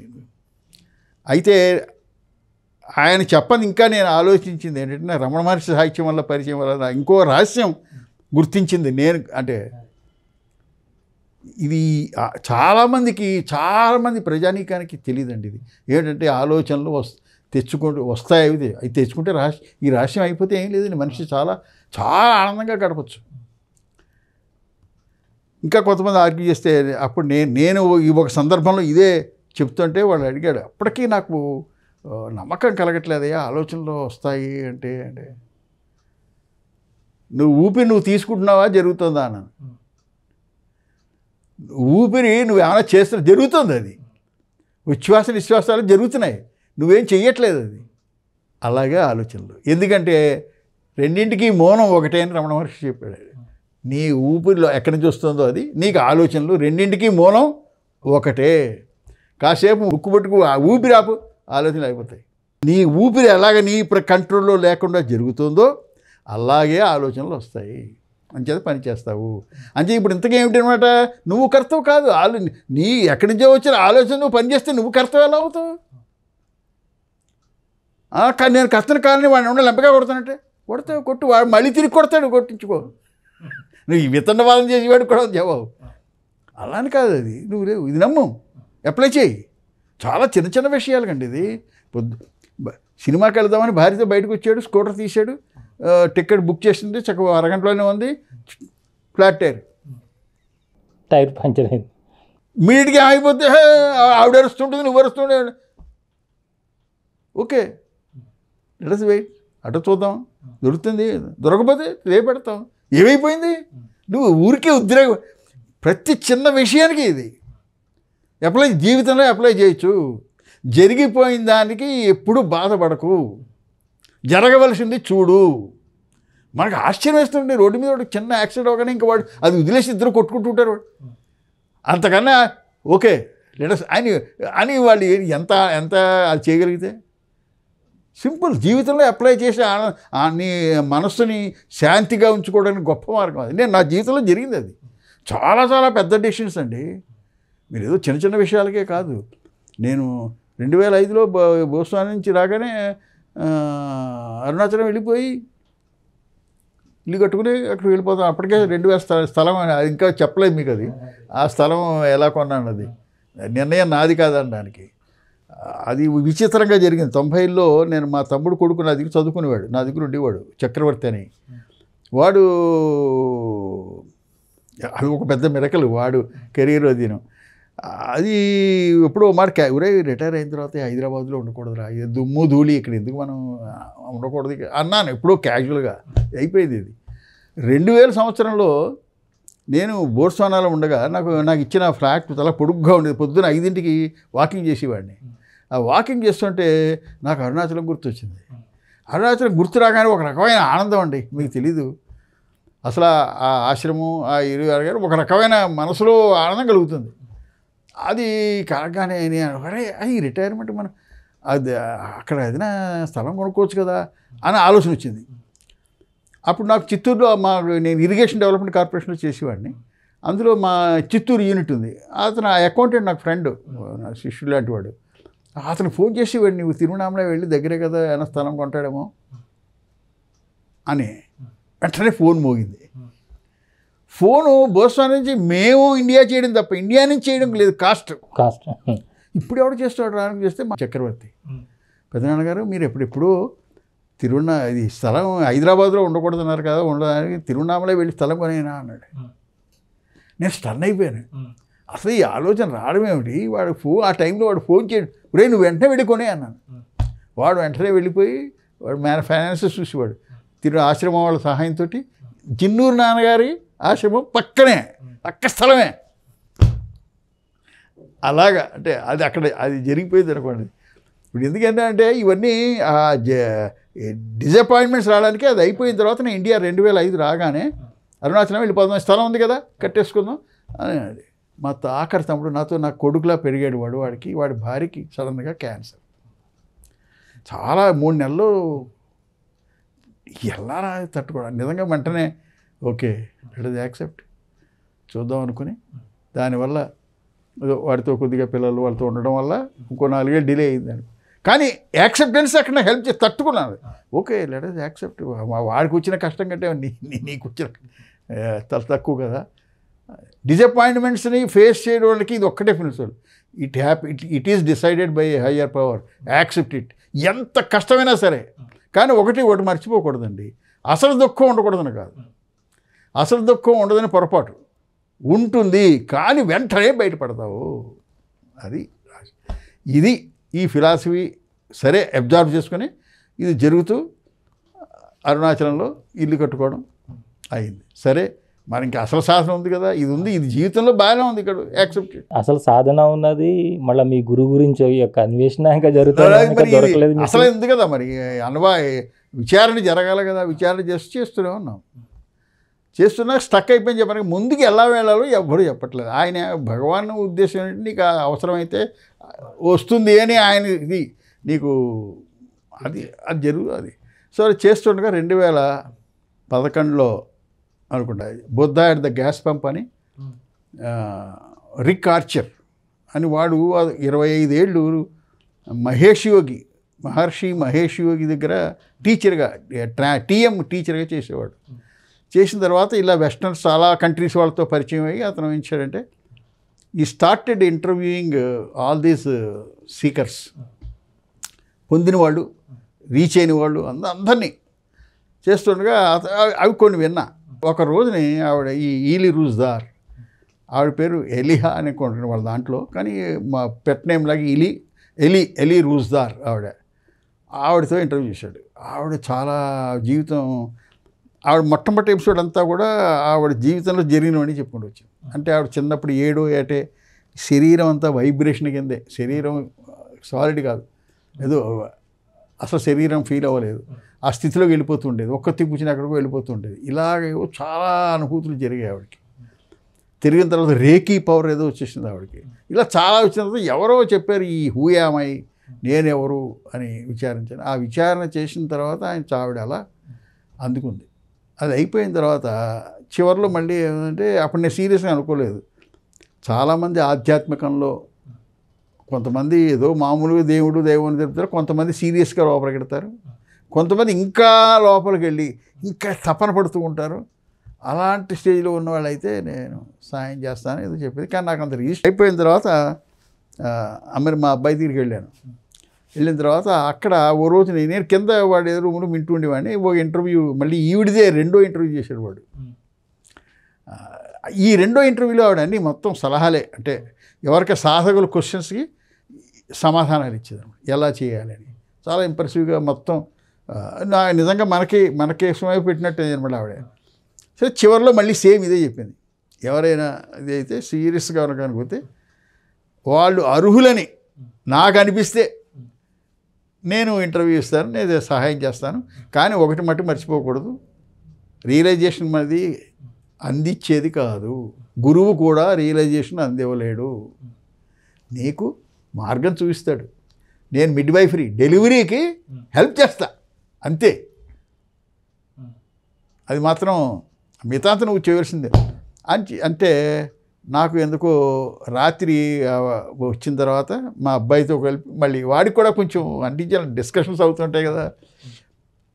మళ్ళీ వాడితో కలిపి అన్నాను.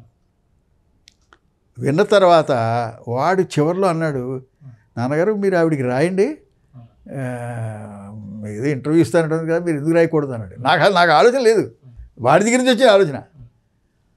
సరేరా. అని ఆవిడ రా వాడి దగ్గర ఇంటర్వ్యూ అయిపోయిన తర్వాత ల్యాబ్ తెరిచి ఆవిడ అడ్రస్ కోసం ఆవిడ సైట్ ఏదో ఉందనమాట ఆ సైట్కి వెళ్ళా. వెళ్ళగానే చూసి స్టన్ అయిపోయాను ఆవిడ చిన్నప్పుడు ఫోటో పెట్టారు అక్కడ. చూడగానే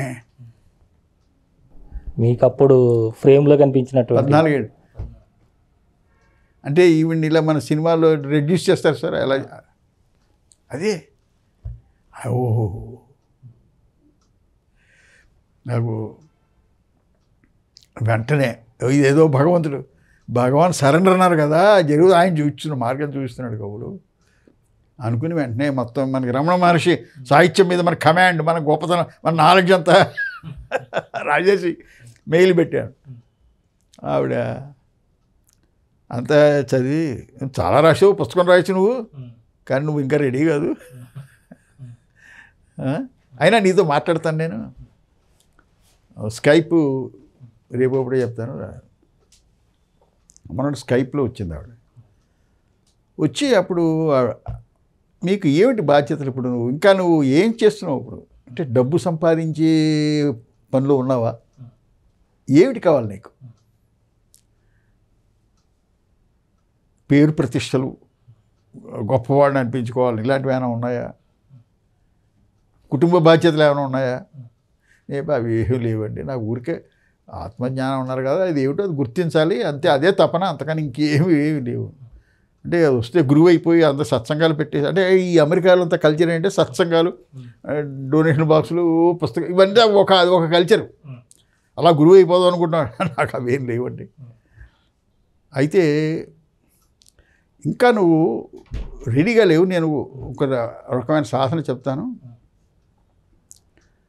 దాని ప్రకారం చెయ్యి. నువ్వు చేస్తున్నావు ఉయామై చేస్తున్నావు కదా. చెయ్యి ఎంత కాలం ఎంత ఎక్కువ టైం వీలైతే అంత చెయ్యి అని చెప్పింది చెప్పిన తర్వాత చెప్పింది ఎలాగా ఎట్లాగా ఊహించుకో. పరమాత్మ అంటే అనంతమైన ఆకాశం నీ నీ- నీ ఎరుక ఉంది కదా hold to that as as an infinite space okay hold it do it అది అలాగా వాడు రూమ్లో మేడ మీద కూర్చొని ముందు గంట రెండు గంటలు పొద్దు రోజు సాయంత్రం ఇలా రెండు నెలలు అయ్యేటప్పటికీ తెలియని మార్పు వచ్చేసింది. ఒక తెలియని మార్పు. ఈ అంతవరకు ఉండేటువంటి అవేర్నెస్ ఎక్స్పాన్సివ్గా ఫీల్ అవ్వడం. అంటే కార్లు ఎడుతున్నాయి బళ్ళు ఎడుతున్నాయి అవి నీలో పెడుతున్నాయి. ఈ బాడీ ఉంది నీలో ఉంది. అంటే అంటే అలానే స్పెసిఫిక్ ఫీలింగ్ అది. తేడా కనపడుతుంది. ఇలాగ మార్పు రాగానే ఆవిడకి మెయిల్ పెట్టా. ఓ now are ready you come అది. అనగానే మా వాడితో చెప్తే ఆవిడ వీ- వీడు శాన్ హోసేలో ఉండేవాడు. ఆవిడ న్యూయార్క్లో లాంగ్ ఐలాండ్లో ఉండేది. ఆ లాంగ్ ఐలాండ్లో వెళ్ళిన తర్వాత ఓ రోజు ఆ నైట్ ఎక్కడ ఉండి చూసి మొన్నటి వెళ్ళాం. నేను ఇంకొక అమెరికన్ లేడీ. స్వామి ముక్తానంద అని ముంబై దగ్గర ఉండే ఆవిడ ఆశ్రమంలో ముప్పై ఏళ్ళు గడిపింది ఆవిడ. ఈవిడికి చాలా రష్. ఇంటర్నేషనల్ కదా. ఎక్కడ జరిగి వచ్చేవారు. ఆవిడ సెలెక్ట్ ఓన్లీ కొద్ది మందినే పికప్ చేసి నన్ను ఆవిడని కలిపింది. కూర్చోమంది. కూర్చోమని ఆవిడ మంచి టీ ఇరానీ చాయ్ కప్పులు దాకా బాగా గుర్తు. టీ ఇచ్చి కంఫర్టబుల్గా చేసి ఆవిడ ఇలా కోట టచ్ చేసింది అంతే టచ్ చేసి జ్ఞానంలో అప్పుడు పక్కన కూర్చొని ఐదు నిమిషాల తర్వాత ప్రశ్నలు వేయడం మొదలెట్టాడు ఏం ఫీల్ అవుతున్నావు అది? నేను అనేది ఉంది నా ఫీలింగ్ స్ఫురణ ఉంది అదొక్కటేనా అంది. దాన్ని స్పృశిస్తూనే వ్యాపించి దాన్ని ఇలా ప్రెస్ చేస్తూ అనంతమైనటువంటి ఒక సైలెన్స్ ఉందా? ఏమైనా ఫీల్ అవుతున్నావా? "ఆ, అవును ఫీల్ అవుతున్నాను. అదే కదా మొత్తం అంతా వ్యాపించే ఉన్నట్టు అనిపిస్తుంది. దీని వెనకాల ఈ స్ఫురణ వెనకాలంతా అదే ఉంది. అందులోంచే ఇది ఊరికే ఇలా వస్తుంది అనిపిస్తుంది నాకు. అదే అది ఏమిటి? నేనే. నువ్వేనా? గట్టిగాను. నేనే అది నేనే. అని నాలుగు మాటలు అనిపించింది. అనిపించిన తర్వాత ఇలా తట్టుకో ఇది ఎక్కడుందా బాడీ. నాలోనే ఉందా. అని సరే ఈ ఇక్కడ చుట్టుపక్కల అవన్నీ మా ఇల్లు అవన్నీ చూసావు కదా అవన్నీ అక్కడ నా నాలోనే ఉన్నాయి. ఆ నా ఆ నా అంటే అదే ఆ deep silence which is expansive. Feel అవుతున్నావు కదా? అవును ఫీల్ అవుతున్నాను. అందులోనే ఉన్నాయి అవును అందులోనే ఉన్నాయని అనిపిస్తుంది తేడా ఏం లేదే. అది ఏమైనా ప్రారంభం ఉంటుందా దానికి? దానికి ఏమైనా ఎండింగ్ అనిపిస్తుందా? ఆ ఎక్స్పాన్సివ్ అవేర్నెస్కి ఇక్కడైనా ప్రారంభం ఇక్కడ ప్రారంభించి ఇక్కడ ఎండింగ్ నో నో నో అంటే అది పుట్టగలదా? పుట్టడం ఏంటంటే అది అనంతంగా అనిపిస్తుంది అది ఎలా పుడుతుంది? ఆకాశంలాగా అనంతంగా అనిపిస్తుంది. అది పుట్టడం ఎలా వస్తుంది? వెరీ గుడ్ చెప్పి రిలాక్స్ అవ్వని చెప్పి మళ్ళీ ఆవిడ్ని నన్ను ఇంకో ఆవిడదిగా? అంతగతం అయింది ఇద్దరిని నడు వాకింగ్ తీసుకెళ్ళి తీసుకెళ్ళి ఆ చెట్టు చూసి ఈ చెట్టు ఎక్కడుంది? అని సడన్గా నాలోనే ఉన్నా. ఇలా రెండు మూడు ప్రశ్నలు వేసిన తర్వాత వెనక్కి వచ్చిన తర్వాత ఒకటి చెప్పాను. ఇంక నువ్వేమి సాధన చేయకు. నువ్వేమిటో చెప్పావు కదా అదే నువ్వు. ఇంకా సాధన ఏమి నువ్వు చేయొద్దు. అయితే ఆవిడకి నేను I wanted to confess one thing అన్న చెప్పదలుచుకోవడం ఈ ఆ డీప్ ఎక్స్పాన్సివ్ సైలెన్స్ నేను అదే నేను అనే ఫీల్ అనేది నాకు ఇప్పుడు మీరు టచ్ చేసిన మీరు అడిగినప్పుడే రాలేదండి. నాకు గతంలో మీరు చెప్పారు కదా చేయమని చేసినప్పుడు ఒకటి జరిగింది. ఏమిటంటే సాధన చేస్తుండగా సడన్గా అంతవరకు ఈ సాధన ఎవరు చేస్తున్నాడు? రమణ శర్మ చేస్తున్నాడు అనే నేను చేస్తున్నాను అనేటువంటి ఒక ఫీ సబ్కాన్షియస్ ఫీలింగ్ ఉంది. ఒకరోజు సడన్గా ఇలా కదిలండి. అరే ఇది రమణ శర్మ ఎందుకు చేస్తుంది ఇది ఎవడు చేస్తుంది రమణ శర్మ ఎవడు? వాడు చేయడం ఏమిటి? రమణ శర్మ వాడు చేయడం అది ఇది జస్ట్ ఎక్కడ జరుగుతుంది ఇది? రమణ శర్మ చేయడం ఏమిటి? వాడు వాడు ఒక ఆలోచనే కదా. అనగానే draw drop Ramana Sharma dropped then వ్యక్తిగా మూట పడిపోయింది ఇది అప్పటి నుంచి ఇది. అప్పుడు చెప్పాను వాడికి. అప్పటి నుంచి ఇలాగే ఉందండి. ఇప్పుడు మీరు చేసినప్పుడు అప్పుడే జరగలేదు అది. అది మీ- అప్పుడు అదే మళ్ళీ నాకు గుర్తుకు అందుకని ఆవిడకి ఆశ్చర్యం వేసింది ఏంటంటే కొంతమంది ఏమీ అవ్వకుండానే అయినట్టు నడిస్తారట మెప్పు పొందడానికి. అలా ఫేక్ చేస్తారు కొంతమంది అదేమో అనుకున్నాను నువ్వు. కానీ నువ్వు ఇది చెప్పగానే course మంచిదైంది. Yes that's the individual drop ఆత్మవిచారణలో జరిగేటువంటి మోస్ట్ ఇంపార్టెంట్ థింగ్ ఏమిటంటే ఆత్మజ్ఞానానికి రెండు స్టెప్స్ అండి. మొట్టమొదటిది ఏమిటంటే ప్రతివాడు ఈ శరీరం నేను అనుకుంటాడు. నేను అనేది శరీరానికి ఐడెంటిఫై చేస్తాడు. ఫస్ట్ స్టెప్లో ఉంటాడు నేను అనే భావం శరీరంలోనే ఉందని అనుకుంటాడు. ఇంకా కిందకి పడిపోయి నేనే శరీరం అనుకుంటాడు. సో ఫస్ట్ జరగవలసింది ఏంటంటే ఈ శరీరానికి దీనికి సంబంధం లేదు. దీని నేచర్ ఏమిటి? నువ్వు విచారణ ఏం చేస్తున్నావు? విచారణలో ఇది కాదనుకున్నావు. శరీరం కాదనుకున్నావు. గుండెకాయ కాదనుకున్నావు. ఆలోచనలు కాదనుకున్నావు. ఏది వేటికైతే ఇవన్నీ తెలుస్తున్నాయో అది. అది ఏమిటది? అది స్ఫురణ. స్ఫురణ అంటే అది ఏమైనా పదార్థమా? మిగతావన్నీ పదార్థాలు. ఆబ్జెక్ట్స్ పదార్థాలు. అది? అది పదార్థం కాదు. పదార్థానికి ఆ- ఆకారం ఉంటుంది. పదార్థం కానిదానికి ఆకారం ఉండదు. సో అది ఫస్ట్ ఎస్టాబ్లిష్ అవ్వాలి నీకు. అది పదార్థం కాదు జ్ఞానము ఎరుక స్ఫురణ. అయితే నేను చెప్పా ఆవిడ ఆవిడకి ఏం చెప్పిందంటే డా చాలా మాటలు నేను సాధన చేస్తున్నాను. ఈ ఎరుకలోనే భగవాన్ చెప్పారు ఎరుకు దగ్గరికి వెళ్ళమన్నారు. ఇది ఐ ఐ అని ఉంది అదే తెలియదు పట్టుకోరు అదే పట్టుకుని ఉండాలి. ఎన్నాళ్ళు పట్టుకున్నా ఏమీ అవ్వట్లేదు. కానీ ఆలోచనలు ఏ ఉండట్లేదు. అందులోకి వెళ్ళాను. స్ఫురణ లేకుండా ఆలోచన లేకుండానే ఉంటున్నా. మరి ఆలోచన లేకుండా ఉన్నప్పుడు అది పరమాత్మ కదా. అసలు పరమాత్మ అంటే ఏమిటి? అప్పుడు చెప్పారు సత్యం జ్ఞానం అనంతం బ్రహ్మ. ఉండడం తెలియడం. మీరున్నారు మీరున్నట్టు మీకు తెలుస్తుంది. కానీ సత్యం అనుకుంటున్నారు. ఆ ఉండడం తెలియడాన్ని కానీ ఆ ఆ- ఆ బోర్డర్ తీసేస్తే ఉండడం తెలియడం అనంతంగా ఉంటే అది పరమాత్మ. అయితే ఈ సాధనలో ఎందుకు జరగట్లేదు అది? ఎందుకు అది భావన రావట్లేదు అంటే ఆ దాంట్లో ఉన్నప్పుడు ఒక బకెట్టు నూతులు వేశారు. నీళ్ళలో మునిగి ఉండగా నీకు బరువు తెలియదు. అంతే కదా? నీళ్ళలో మునిగి ఉండగా అనుకో బకెట్ నిండి నీళ్ళు నిండినా కూడా తెలియదు. బరువు తెలియదు. చాలా ఆనందంగా. బయటికి లాగారు. లాగ్గానే అవుతుంది దాని బరువు తెలుస్తుంది. సో నువ్వు జ్ఞానంలో ఉన్నావు పట్టుకుంటున్నావు ఏమి లేదు అక్కడ నిజమే కానీ బయటకు వస్తున్నావు. వచ్చేప్పుడు ఏమొస్తుంది? దాని తాడికి ఏముంది? రమణ శర్మ పుట్టినప్పటి నుంచి వాడి జరిగిన వాడి క్వాలిఫికేషన్లు వాడు ఉద్యోగాలు పిల్లలు భార్య బిల్ల ఒక మూట. ఆ మూట తగులుకుంది దానికి. అది అది పడిపోకపోతే నీవు నీ తేడా అది పడాలి. అది ఎలా పడుతుంది? శాసనంలో ఎక్కడో నీకో నీకు జరిగింది చూసావా? అది జరిగితే అప్పుడు ఇంక నీకు నిశ్చయం నిశ్చింతగా నువ్వు నువ్వు ఏ ఇప్పుడు ఏ సర్వకాల సర అది తప్ప ఇంకే అసలు అదే ఉన్నది. అది వ్యాపించి ఉంటే ఇప్పుడు అది నా జ్ఞానం ఎరుకుందండి ఇది వ్యాపించిందంటే మేము మీ మిమ్మల్ని అందరినీ కవర్ చేసింది అది. నేను అలవాటైపోయి ఇక్కడ ఉండి అదో అయితే నేను మేఘాల్లో ఉన్న మేఘాల్లో ఉన్న జ్ఞానం వ్యాపించే ఉంది అది. అది సాధనలో విచారణలో మొట్టమొదట అది జరగాలి. అది జరిగితే ఇంకా నీకు ఫస్ట్ సో అది చెప్పి అది అది జరిగింది. ఆ జరగడం వల్ల అది ఇవన్నీ కూడా ఒకటి ఏ శక్తి వల్ల ఇవన్నీ జరుగుతాయంత కృప? ఇందులో ఇందులో ఇంక వ్యక్తి లేడు వాడు ప్రయత్నం లేదు. ప్రయత్నం చేస్తే జరగవు. జరుగుతాయి అంతే అది అది అలా అది జరుగుతుంది. ఇది ఆవిడ దగ్గర నుంచి వచ్చిన తర్వాత ఆవిడ ఏం చెప్పిందంటే మీరేం సాధన వద్దు. ఏం అక్కర్లేదు. కొన్ని విషయాలు వాటంతా అవే మీకు తెలుస్తాయి అంది.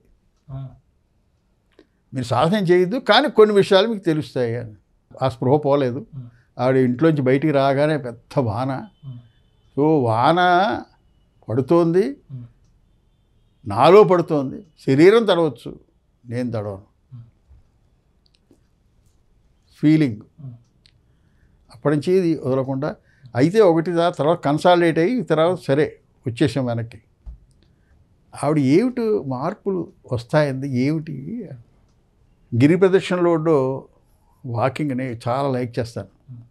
అక్కడ అంటే రమణాశ్రమం వన్ కిలో ఒక కిలోమీటర్ రెండు కిలో వచ్చిన తర్వాత ఒక విఘ్నేశ్వరుడు అక్కడ ఒక ఏడెనిమిది కిలోమీటర్లు బ్రహ్మాండమైన ఫారెస్ట్లా ఉంటుంది చెట్లు ఆహ్లాదంగా ఉంటుంది. ఎప్పుడు అక్కడే వాకింగ్ చేస్తాను చూస్తుంటే ఆవిడ ఇక్కడ చెట్లు ఆకారాలు వస్తువులు కనపడుతున్నాయి ఇవన్నీ. మరి బాగానే ఉంది వ్యాపించే ఉన్నాను ఫీల్ అవుతున్నాను అన్నింటినీ కవర్ వస్తుంది కానీ ఇంకా ఈ ఆకారాలు ఉన్నాయి కదా. ఈ వస్తువులన్నీ ఉన్నాయి ఇవేమిటివి? వాటి స్వభావం ఏమిటి? అసలు ఏమిటది?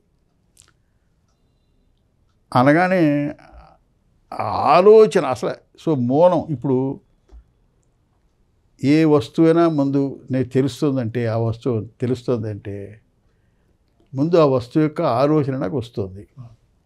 అంటే ఇవన్నీ ఆబ్జెక్ట్స్ అవన్నీ ఆబ్జెక్ట్స్ నువ్వు సబ్జెక్టు. ఈ ఆబ్జెక్టు దీని సంగతి తెలుసుకోవాలి. అంటే ప్రపంచమే కదా ప్రపంచం అంతా ఏమిటండి? ప్రపంచం అంతా ఏమిటంటే నామం రూపం క్రియ అంటే. నామం అంటే పేరండి కదా అక్కడ వృత్తి అంటాం. ఇవి తర్వాత ఆయన అప్పుడే అప్పటికే శ్రీనివాసరావు గారు వినడం మొదలెట్టాను నేను. ఎలా శ్రీనివాసరావు గారు. ఇప్పుడు అది పుస్తకం ఉందండి. పుస్తకం అంటే ఒక వృత్తి. అంటే అది ఒక ప్ర ప్రపంచంలో దేనికైనా మూడు ఉంటాయి. వృత్తి అంటే అది ఐడియా ఒక ఐడియా. రూపం. దాని పుస్తకాన్ని చూడగానే నాకు కారు ఐడియా రాదుగా. పుస్తకం అనే ఐడియా వస్తుంది. పెన్ను పక్కన పెన్ ఐడియా వేరు. పుస్తకం ఐడియా వేరు. ఐడియా వృత్తి. దానికి ఆకారం. ఆ పుస్తకం పెన్ ఆకారంలో ఉండదుగా. పెన్ను పుస్తకం ఆకారం ఉండదు. సో దానికి ఒక ఆకారం. రైట్. పుస్తకం పని. పుస్తకం దాని ఏదో సబ్జెక్ట్ ఉంది అందులో. పెన్ను రాస్తుంది. సో క్రియ. ఈ మూడు. ప్రపంచంలో ఏ వస్తువైనా సరే ఇది. సో నాకు ఈ ఆకారాలన్నీ ఇవి ఇవి నాకు తెలియాలి అంటే నాకు ఆలోచనగా రావాలి. పుస్తకం ఆలోచన వస్తే కానీ పుస్తకం తెలియదు. అంటే నాకు ఏమవుతుంది? పుస్తకం నేను వెళుతూ అక్కడ పుస్తకం కనపడలేదు కూడా ఆలోచన రాదు నాకు. పుస్తకం ఎదురుకుండా వస్తేనే ఆలోచన అంటే అర్థం ఏంటి? నా జ్ఞానం కనుక ఒక అర్థం కనుక అయితే ఈ ఈ పుస్తకం ఒక బింబం అయితే ఆ ప్రతిబింబం జ్ఞానంలో ఎప్పుడు కలుగుతుంది? పుస్తకం ఎదురుకుండా వస్తేనే జరుగుతుంది. సో జ్ఞానంలోకి ప్రపంచం రావాలి అంటే ఒక ఆలోచన ద్వారా రావాలి. అప్పుడు నేను ఏమనుకున్నానంటే సైంటిస్టులు రక్తం పరీక్షించడానికి ఒక్క డ్రాప్ని పరీక్షించి డ్రాప్కి ఏ లక్షణాలు ఉన్నాయో మొత్తం రక్తం కనుక అవే లక్షణాలు ఉన్నాయని మందిస్తాడు. అలాగే ప్రపంచాన్ని కుదించి ఆలోచనగా చేసి దాన్ని విశ్లేషించి దాని స్వరూపం గుర్తిస్తే మొత్తం ప్రపంచం విషయం తేలిపోతుంది. అనుకుని ఆలోచన వెళ్ళి ఏమిటిది? మనకి ఎదురుగా వస్తోంది మళ్ళీ. ఎక్కడి నుంచి వస్తుంది అనుకున్నాం? మెమరీలోంచి. లోపల ఉంది. లోపలే లోపల నుంచే వస్తుంది. బయట నుంచి రావడం లోపల నుంచే వస్తుంది ఆలోచన. అయితే ఒక నాకు యాపిల్ ఫ్రిడ్జ్లో యాపిల్ గురించి ఆలోచన వచ్చింది. వచ్చినప్పుడు ఆలోచనలో ఏమి మార్పు జరుగుతుంది? నా అంటే నా జ్ఞానంలో. నా జ్ఞానంలో ఏమైనా మార్పు జరుగుతుందా? లేదు. యాపిల్ ఆలోచన వచ్చింది. అంటే జ్ఞానంలో కదలకు ఉంది కానీ నిజంగా కదలలేదు. జ్ఞానం అలాగే తెలుస్తుంది. ఏమి కదలలేదు. ఓహో. అయితే ఎక్కడో ఫ్రిడ్జ్లో ఉంది కాబట్టి నాకు జ్ఞానంలో కదిలినాయి. ఆ తెలుస్తున్న దాని ఆలోచన వచ్చినా జ్ఞానంలో మార్పు లేదను. ఇది ఓకే ఒకవేళ ఎదురుకుండా ఈ చెట్టు ఉంది. అది ఎక్కడో ఉంది. ఇది ఎదురుకుండా ఉంది. సో చెట్టు ఆలోచన వచ్చింది. ఎదురుకుండా ఉన్నప్పుడు అంటే ఈ ఎదురుకుండా ఉన్న చెట్టు ఆలోచనకి ఎక్కడో దూరంగా ఫ్రిడ్జ్లో ఉన్న ఫ్రి- యాపిల్ ఆలోచనకి తేడా ఏమైనా ఉందా? లేదు. జ్ఞానంలో ఏమీ మార్పు లేదు. కానీ ఆలోచన ఉన్నట్టు తెలుస్తుంది. అంటే జ్ఞానంలో వచ్చినప్పుడు జ్ఞానం ఏమీ మార్పు చెందటం లేదు. శాస్త్రం ఏం చెప్పింది? సత్యం జ్ఞానం అనంతం బ్రహ్మ. అనంతంగా అది ఎప్పుడూ మారకుండా బాగా లేకుండా అదే ఉంది. ఇదే ఉపనిషత్తుల సారం. అది నువ్వు అనుభవపూర్వకంగా తెలుసుకోవాలంటే ఇగో ఇదే ఎక్కడోకే అది ఎక్కడో అనుకోవడం వెళ్ళిపోవడం పరుగులెత్తడం లేదు ఇక్కడే నువ్వు టెస్ట్ చేయి ప్లాట్ఫామ్ ఇదే. దాని దాని నిజరూపం నువ్వు టెస్ట్ చేయి ఇక్కడ. మార్పులే మార్పు నిజంగా ఎలా ఎలా మార్పు జ్ఞానం? సముద్రంలో తరంగం ఒక ఇలా ఎత్తు వస్తుంది ఇక్కడ అది కూడా లేదు. సముద్రంలో సముద్రం నుంచి నీరే తరంగంగా వస్తుంది అక్కడ నీరే అది. అంటే ఇక్కడ జ్ఞానమే ఆలోచనగా వస్తుంది. ఇంకా జ్ఞానంలో మార్పు లేదు. అయితే ఏం చేస్తుంది? జరుగుతుంది? ఆ యాపిల్ ఆలోచన రాగానే అది ఎర్రగా ఉంది బాగుంది అది తినాలి కోసుకుంటే బాగుంటుంది. ఇవన్నీ వచ్చేసేసి దాని వెనకాల పడి అది దొరికితే సంతోషించి దొరకకపోతే ఏడిచి పడిపడ్డావు. ఓ! లే నిజంగా? మరి అయితే అవన్నీ మరి కోసావు వెంటనే ఆలోచించింది కోసావు కదా ఆనందంగా పట్టుకొచ్చావు? అది ఆలోచన. కోసావు? ఆలోచన. నీ జ్ఞా జ్ఞానంలో మార్పు. ఇక్కడ చర్య కాదు. జ్ఞానంలో ఏం మార్పు ఉంది? కాయ కోసినప్పుడు నీ జ్ఞానం మారిపోయిందా లేదు. ముక్క నోట్లో పెట్టుకున్నావు. జ్ఞానం మారి లేదే. రుచి తెలుస్తుంది. ఆనందం. ఏ స్టేజ్లోనూ జ్ఞానంలో మార్పు లేదు. నువ్వు ఏ పని చేసినా జ్ఞానంలో మార్పు ఉండట్లేదు. అంటే నువ్వు దాని దగ్గరికి వెళ్ళకు. ఇక్కడ అబ్జర్వ్ చేయి. నీ జ్ఞానం ఏమవుతుంది? నా జ్ఞానం అంటే శరీరంది కాదు. వ్యాపించింది. అది చాలా ఇంపార్టెంట్ అది. అయితే దీనికి ఒక ఈ జ్ఞానం శరీరానికి సంబంధం లేకుండా జ్ఞానం ఉన్నది అన్నది ఎస్టాబ్లిష్ అవ్వడానికి నేను అంటే ఒక ఒక రచన ఒక మాట ఇప్పుడు ఒక అది సర్వప్రియానంద చెప్పారు ఎవరిదో గుర్తులేదు. అది చాలా సాధకులకి చాలా ఇంపార్టెంట్ అది. జనక మహారాజు రోజు సోఫాలో విశ్రాంతి తీసుకుంటున్నాడు. తీసుకుంటుంటే భటులు వచ్చి స్వా రాజా శత్రురాజులు మనని ఎదుర్కొంటున్నారు. యుద్ధం "ఆ, నడు యుద్ధం చేద్దామని వాళ్ళతో వెళ్ళి యుద్ధం చేస్తాడు ఓడిపోతాడు. ఆ నెగ్గిన రాజు ఈయన బహి దేశ బహిష్కృతం చేస్తాడు. వెళ్ళిపో ఇప్పుడే ఇమీడియట్గా ఇక్కడి నుంచే వెళ్ళిపోమంటాడు. చేసేది లేక దేశం వదిలిటి వెళ్ళిపోతూ అడవుల గంట వెళ్ళిపోతుంటే బాగా అలిసిపోయి ఆకలి దాహం చూస్తుంటే ఎక్కడో చివరిలో అవతల దేశంలో ఎవరో ఒక జనం నుంచుని ఉన్నారు అక్కడ. వరుసగా ఎవరో ఏదో పెడుతున్నారు. వీళ్ళందరూ వెళ్తుంటే అక్కడ నుంచున్నాడు అందులో. ఒక్కొక్కడే వెళ్ళి పెడుతుంటే వాడు ఏదో దొన్ని ఏదో ఇస్తున్నాడు అందులో వేస్తున్నాడు వాడు తింటున్నాడు. వీడు ఈ దగ్గరికి వెళ్ళాడు ఎవడో దొంచి పెట్టాడు. వాడు ఆఖరిది ఇంకేదో తీసి ఇందులో వేశాడు వీడు. ఈయన తినబోతుండే ఎవడు టప్ అని కొట్టాడు చేతి మీద. అయ్యో! అని మెలకు వచ్చింది రాజుగారికి సోఫాలో. వెంటనే అక్కడ ఉన్న బోట్లు అది నిజమా? ఇది నిజమా?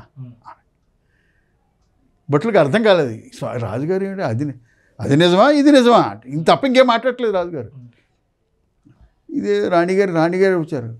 వాళ్ళంతా వచ్చే అది నిజమా? ఇది నిజమా? అట్టు ఇంకేం మాట్లాడట్లేదు ఈయన. సభలోకి వెళ్ళాడు. సభలోకి వెళ్ళిన తర్వాత అందరినీ చూసి అది నిజమా? ఇది నిజమా? అంటున్నాడు. ఏమిట్రా బాబు ఈయన అని ఈ మాట ఊళ్ళోకి వెళ్ళింది. ఊళ్ళోంచి అష్టావక్రముని పెడుతున్నట్టే ఎవరో అన్నారు ఈ రాజుగారు ఇలా అడుగుతున్నారంటే ఓహో సరే దాన్ని నేను చెప్తాను అని ఆయన వచ్చాడు. వచ్చి రాజు చూడగానే రాజా నీ ప్రశ్నకి నేను జవాబు చెప్తాను ముందు నేను అడిగిన దానికి చెప్పు. నీకు ఒక కళ వచ్చింది. ఆ కల్లో నువ్వు అడవిలో వెళ్ళిపోయావు గుడ్డలని చిరిగిపోయాయి ఆకలేసింది దాహం వేసింది. ఆ అప్పుడు నీ భార్యలు నీ మంత్రులు ఈ సింహాసనం ఉన్నాయా? అన్నాడు. అప్పుడు. అబ్బాయి అసలు ఇవే తెలియ ఉన్నట్టు తెలియదు. అప్పుడు నేనే ఉన్నాను అప్పుడు. ఇంకే గేలు అవన్నీ. బాగుంది ఇప్పుడు నీ సింహాసనం భార్యలు వీళ్ళందరూ ఉన్నారు. ఆ ఆకలి ఆ చిరిగిపోయిన బట్టలు ఆ వాళ్ళందరూ అక్కడ అన్న అవన్నీ ఉన్నాయా ఇప్పుడు? లేవు. సో అది లేదు. ఇది లేదు. నువ్వే ఉన్నావు. ఉన్నది నువ్వే. నువ్వంటే ఏమిటి? నీ శరీరం. నీ శరీరం సోఫాలోనే ఉంది. సో నీ శరీరం అక్కడికి వెళ్ళట్లేదు? ఏమిటది? నీ జ్ఞానం. అది ఎప్పుడూ కదలదు. అదే ఉంది. దీన్ని విశ్లేషించుకో అని చెప్పి వెళ్ళిపోతాడు. అంటే చాలామందికి డౌట్ ఏంటంటే ఓ కుర్రాడికి వాడిని రాసిన దాంట్లో రాశాను. వాడికి కళ వస్తూ ఉంటుంది. అందులో మంచి మంచి పిండి పిండి పదార్థాలు అన్న తమ్ముడు వడ్డిస్తారండి. అని ఇవన్నీ ఏ పదార్థంతో తయారవుతాయి? ఈ కళ్ళలో కనపడేవన్నీ ఏ పదార్థంతో తయారవుతాయని వాడు డౌట్. అప్పుడు ఆయన చెప్తాడు అంటే అర్థం? నువ్వు మంచమే పడుకున్నావు నీకున్నది జ్ఞానం ఒకటే. అంటే నీ జ్ఞానమే వీటన్నిటి కింద మారకుండా మారినట్టు. రే అబ్బాయి నీ జ్ఞానంలో ఒక శక్తి ఉంది. ఆ శక్తి ఏమిటంటే తాను మారకుండా మారినట్టు కనపడుతుంది.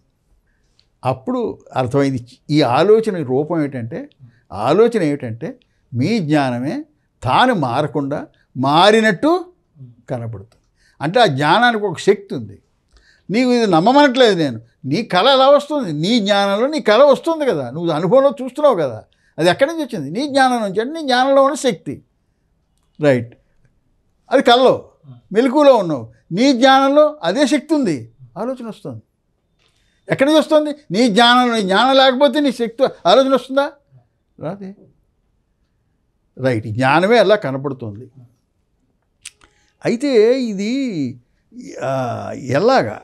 దాన్ని విశ్లేషించుకోవాలి. దాన్ని మీరు ఆధ్యాత్మికంగా నేను సంస్కృతం చదువుకోలేదండి. కం- పడిబట్టు రాదు నాకు. చాలామంది మాట్లాడితే అద్వైతం మాట్లాడితే పడిగట్టు పదాలు రాస్తారు. వాడు గొప్ప మహానుభావులు. అందుకో నాకు అలవాటు లేదు అమ్మవారు నాకు అలవాటు చేయలేదు.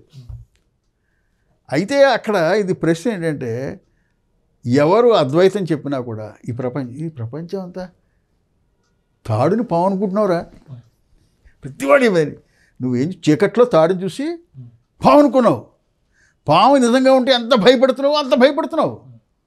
కరది పట్టరావు కొట్టేయట్టు లేకపోతే చెమట పట్టేస్తుంది. ఎవడో లైట్ వేస్తే అది తా ఓ తాడురా. యాక్చువల్గా ఈ ఆకారాలు ఇవన్నీ కూడా ఉన్నది అక్కడ ఆత్మే. పరమాత్మే అలా ఉంది. కానీ ఈ ఆకారాలు నిజం కావు. ఊరికే కనపడుతున్నాయి. బాగానే ఉందండి ప్రపంచం. కానీ నా నా దగ్గరికి వచ్చేవాడికి చెప్పండి ఆ విషయం. అంటే నీకు వచ్చే ఆలోచనే పాము. ఇక్కడ తీసుకురావాలి. నీకు కన్విన్స్ అవ్వాలంటే అర్థం ఏంటి ఇక్కడ? నీకు ఏ ఆలోచన వచ్చినా అది తాడుని చూసి పాము అనుకునేటువంటి నీ జ్ఞానాన్నే ఆలోచన అనుకుంటున్నావు. అంటే ఆ జ్ఞానం అనే తాడునే పాము అనుకున్నట్టు నీ జ్ఞానాన్నే ఆలోచన అనుకుని ఆలోచన నిజం అనుకుని పాము అక్కడ ఎలా కంగారు పడతావు ఆ ఆలోచన ఆపిల్ తినాలనో లేకపోతే అక్కడికి వెళ్ళాలనో ఇది పొందాలనో అది ఎక్కాలనో ఇది ఏమి ఇవన్నీ కూడా నువ్వు ప్రపంచంలో పడిపోతున్నావు. ఆలోచన జ్ఞానం తప్ప ఏమి కాదు అని నువ్వు ఎప్పుడైతే దృఢపడాలి అంటే ఇంటలెక్చువల్ కాదు. ఇంటలెక్చువల్గా అయితే కాదు. అనుభవంగా ఎప్పుడైతే వచ్చిందో అప్పుడు నీకు కన్విక్షన్ వస్తుంది. అప్పుడు నీకు ఏమవుతుంది తెలుసా? ముక్తి వస్తుంది. ముక్తి. జీవన్ముక్తి ఏమిటంటే యాక్చువల్గా జీవన్ముక్తి మీద తేడా లేదు. ముక్తి అంటే ఏమిటండి? ఫ్రీడమ్. ప్రపంచం నుంచి నీకు ముక్తి. అంటే అర్థం ఏంటంటే ఆకాశం నీలంగా ఉంది. నీలంగా ఉంది చూ- కనపడుతుంది. ఎవడో చెప్పాడు సైంటిస్ట్ ఊరికే ఊరికే లైట్ రేస్ రిఫ్లెక్షన్ వల్ల కనపడుతున్నారా? అది ఆకాశం నిజంగా నీలంగా లేదు అన్నాడు. తెలిసిపోయింది నీకు. కానీ మళ్ళీ చూసావు నేను నీలంగానే ఉంటుంది. సో అలాగా ఇది ఆలోచన ప్రపంచం అంతా కూడా వాస్తవం. అయినా కూడా నువ్వు వ్యవహారం చేస్తావు. శరీరం ఉంది కాబట్టి వ్యవహారం చేస్తావు. కానీ దాని ప్రభావం అంటే అర్థం ఏంటి? సినిమాకి వెళ్ళాలనుకున్నావు. టికెట్ దొరికింది లేదా వెళ్ళలేదు. దొరికింది హ్యాపీ. దొరకలేదు ఓకే. ఇదంతా ఆలోచనే. సినిమాకి వెళ్ళాలని కూడా చూడాలని కూడా ఆలోచనే. నీ ఎందుకు అంత కంగారు పడతావు? ప్రపంచంలో ఏ వస్తువైనా మిమ్మల్ని బాధించదు. అది ఉన్నా ఉంటే ఆనందమే. లేకపోయినా కూడా మీకు ఏమి ఏం చేయదు. అంటే మీరు అప్పుడు ఏంటంటే ఇండైరెక్ట్గా ఒక పదం వాడుతున్నాను నేను. అంత క్రితం దాకా అది నేను కంట్రోల్ చేస్తుంది. నువ్వు నిన్ను అది దొరకపోతే ఏడ్చి లేకపోతే చేస్తున్నావు. ఇప్పుడు నువ్వు దాన్ని కంట్రోల్ చేస్తున్నావు. అది నేను ఏం చేయలేదు. ఇది తెలుసుకో రహస్యం. అంటే నీకు ఆలోచనలు వచ్చి నువ్వు వర్రీ అయిపోకు. ఆలోచనల వెనకాల వెళ్ళిపోకు. వెళ్ళు వెళ్ళు. వెళ్ళా అంటే అలా నీ గుడిలో ముక్కు మూసుకుని గడ్డాలు పెంచుకుని గుహలో కూర్చోమన్నా నో నో నో నో. ఎందుకంటే అమ్మవారిని ఆపే శక్తి అవడం చాలామందికి ఏంటంటే తెలుసా అండి? ఈ ఇంటర్ప్రిట్ చేసి వాడి జ్ఞానాన్ని ఆలోచనలు ఆపేసి చాలా ఉండిపోవడమే అంతే. అదే అంటాడు. That is nonsense how it is possible ఊపిరి జరగడం ఆపగలరా? ఆలోచనలు రాగడం ఆపగలరా? నో. ఆలోచన అది యోగం. అంటే ఒకటండి. అది- అది ఒక స్థాయి ఒక స్టేజ్. ఇప్పుడు కర్మ భక్తి యోగం అంటే చిత్తబుద్ధి నిరోధి ఇవన్నీ పతంజలి అంటే నిరోధం మీకు వాటిని ఈ జ్ఞానం తెలుసుకోవడం అర్హత మీని వాటిని ఒక స్ట్రెంగ్త్ పెంచుదాం చూసారా? దేనికైనా ఒక వస్తువుకి ముందు స్ట్రెంగ్త్ రావాలి. ఆ స్ట్రెంగ్త్ ఇస్తాయి అవి ఆ సాధనలో స్టెప్స్ అవి తప్పులేదు అవి ఉన్నాయి. కానీ అది అల్టిమేట్ కాదు. నువ్వు ఇక్కడికి రావాల్సిందే. జ్ఞానం కైవల్యం జ్ఞానం వల్లనే అని వాడు మరి పెద్దలు ఎవరో చెప్పారు. శంకరులు చెప్పారు ఉపనిషత్తులు కైవల్యం తప్ప జ్ఞా నీకు జ్ఞానం వచ్చి తీరు. రావాలి. రావాలంటే ఏమిటి? ఆలోచన ఆపేయడమా? లేదు. ఆలోచన ఏమిటి ఇది? దాని స్వరూపం ఏమిటి? దాన్ని తెలుసుకో. తెలుసుకున్న తర్వాత ఇంకేం లేదు. ఉంటుంది. ఆకాశం నీలంగా కాదని తెలిసింది. నీలంగా కనపడుతుంది. కానీ కాదని అంతే. ఇంకా అతి విచిత్రం ఏం చెప్పనా? వాడు వాడు ప్రశ్న వేసాడు. ఈ మధ్య కోరాలో నాకు చాలా జవాబు చెప్పాడు. నాకు మిగతా ఏదైనా చూసి నిద్ర వస్తుంటే వాడు ఆ ప్రశ్న రా జవాబు ఇచ్చిన నిద్ర రాదు. ఎంత మా ఆవిడ కోపడుతూ పడుకొని పడుకున్నట్టు రాత్రి అయినా సరే జవాబు పూర్తి చేసి పడుకోవాలి. ఎల్లప్పుడూ ఆనందంగా ఉండాలి అలా. ఓ ప్రశ్న. ఎల్లప్పుడూ ఆనందంగా ఉండాలి. ఎల్లప్పుడూ దేవుణ్ణి స్మరించాలి. దేవుణ్ణి ఎల్లప్పుడూ దృష్టిలో పెట్టుకోవాలి అలా అన్నాడు. ఎలా దృష్టిలో పెట్టుకోవాలంటే నువ్వు అబ్బాయి ఎక్కడికో వెళ్ళక్కర్లేదు దేవుడికి నువ్వు అమ్మవారు ఒళ్ళో ఉన్నావు. నీ ఊపిరి ఏమిటనుకుంటున్నావు? అమ్మవారు అంటే శక్తి. ఆడేమిటి ఎక్కడో కొండ మీద దుర్గా అక్కడ ఉందనుకుంటున్నావా? సర్వంగా వ్యాపించింది. వ్యాపించిందా నీకు తెలియదా? నీ నీకు చెప్తూ రే ఇక్కడ ఉన్నదా అని చెప్తోంది నీ ఊపిరే ఆవిడ. అది దృష్టిలో పెట్టుకో. అది కూడా అమ్మవారు ఇక్కడే ఉంది. నువ్వు నిద్రపోయి నీకు నీ నీ స్పృహ లేనప్పుడు కూడా ఆవిడ ఉంది అక్కడ. సో ఇది తలుచుకో. ఇరవై భగవత్ సాన్నిధ్యంలోనే ఉన్నావు నువ్వు. ఇంకొకడు అడిగాడు నాకు ఎప్పుడు ఈ ఈ ప్రపంచం నుంచి ఎలాగా హ్యాపీగా ఉండాలి? పీస్ ఆఫ్ మైండ్తో ఎలా ఉండాలి? పీస్ ఆఫ్ మైండ్తో ఎలా ఉండాలి? ఒరే అబ్బాయి సూర్యుడు చంద్రుడు భూమి ఎలా ఉన్నాయి? ఒక ఒక పొద్దున ఉదయించడం అస్తమించడం చంద్రుడు భూమి చుట్టూ తిరగడం భూమి సూర్యుడి చుట్టూ తిరగడం. ఇదంతా ఒక ప్లాన్ ఉందంటావా? ఏదైనా ఒక ఒక ప్లాన్ ప్రకారం కనపట్లేదు నీకు? ఓకే? అదంతా ఒక ప్లాన్ ప్రకారం జరుగుతుంది. నువ్వేమైనా చేసావు దాన్ని? అది ఏమైనా నువ్వు చేసావా? లేదు. రైట్. బయట. సో బయట అన్ని ప్లాన్ ప్రకారం జరుగుతుంది ఎవరో చేసిన ప్లాన్. రైట్. ఓ ముద్ద అన్నం తిన్నావు. అది లోపలికి వెళ్ళి ఎలా ఎలా ఎక్కడికి వెళ్ళాలో ఎక్కడికి వెళ్ళాలో ఎక్కడికి వెళ్ళాలో వెళ్ళి అరిగి రక్తంలో శక్తిగా మారుతుంది. నువ్వేమైనా చేస్తున్నావా? నువ్వేమైనా చేస్తున్నావా? లేదు. మరి నువ్వేంట్రా దేనికి వర్రీ అవుతున్నావు నువ్వు? నువ్వే అవన్నీ జరుగుతున్నాయి. అన్నీ జరుగుతాయి. సినిమా చూస్తున్నావు. సినిమా చూస్తుంటే డైరెక్టర్ కథ రాశాడు తీసేసాడు అవి చూస్తున్నావు. వాడు మైండ్లో ఊరు అలా ఎందుకు కడతాడు వీడు? అలా ఎందుకు నువ్వు ఎందుకురా సినిమా చూడు? వాడు రాసి అయిపోయింది అది రాసేసాడు కథ అయిపోయింది జరుగుతుంది నువ్వు దాన్ని వాడు వాడు ఇలా చేస్తావు అలా బుద్ధి లేదు ఇలా నువ్వు జస్ట్ సీ అండ్ ఎంజాయ్. ప్రపంచంలో జరిగేది అంతా రాయన ఆల్రెడీ రాసేసి తీసేసిన సినిమా నీ జీవితం. చూసి ఎంజాయ్ చేయి. వెర్రీ అవ్వకు. ఇది ఇది చాలా ఇంపార్టెంట్.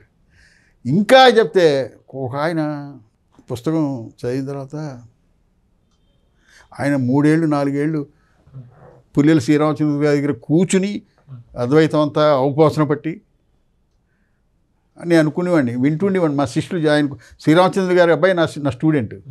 వాడు చెప్తుండేవాడు వీళ్ళు వచ్చారని వీళ్ళంతా నేర్చుకుంటున్నాడు అని అనుకున్న అదృష్టవంతులు. శాస్త్రం నేర్చుకుంటున్నారు గురువు గారి దగ్గర. ఆయన అన్నాడు బా శర్మ గారు బాగా కొత్త జోనర్లో రాశారు కొత్త జోనర్ అంటే ఏంటంటే ఫస్ట్ థింగ్ నేను సంస్కృతం పడిపెడతాను ఏం పెట్టలేదు. సంవత్సరం. పెట్టాలంటే నేను పెట్టాలనుకుండా నాకు రావు. ఇది పదాలతో చెప్పాం. గురు శిష్య సంవాదం కింద చెప్పారు. ఎస్ఏలు రాస్తే నిద్రవుతారు జనం. సో సంభాషణగా చెప్పారు. బాగుంది. ఇలా నీకున్నది జ్ఞానము.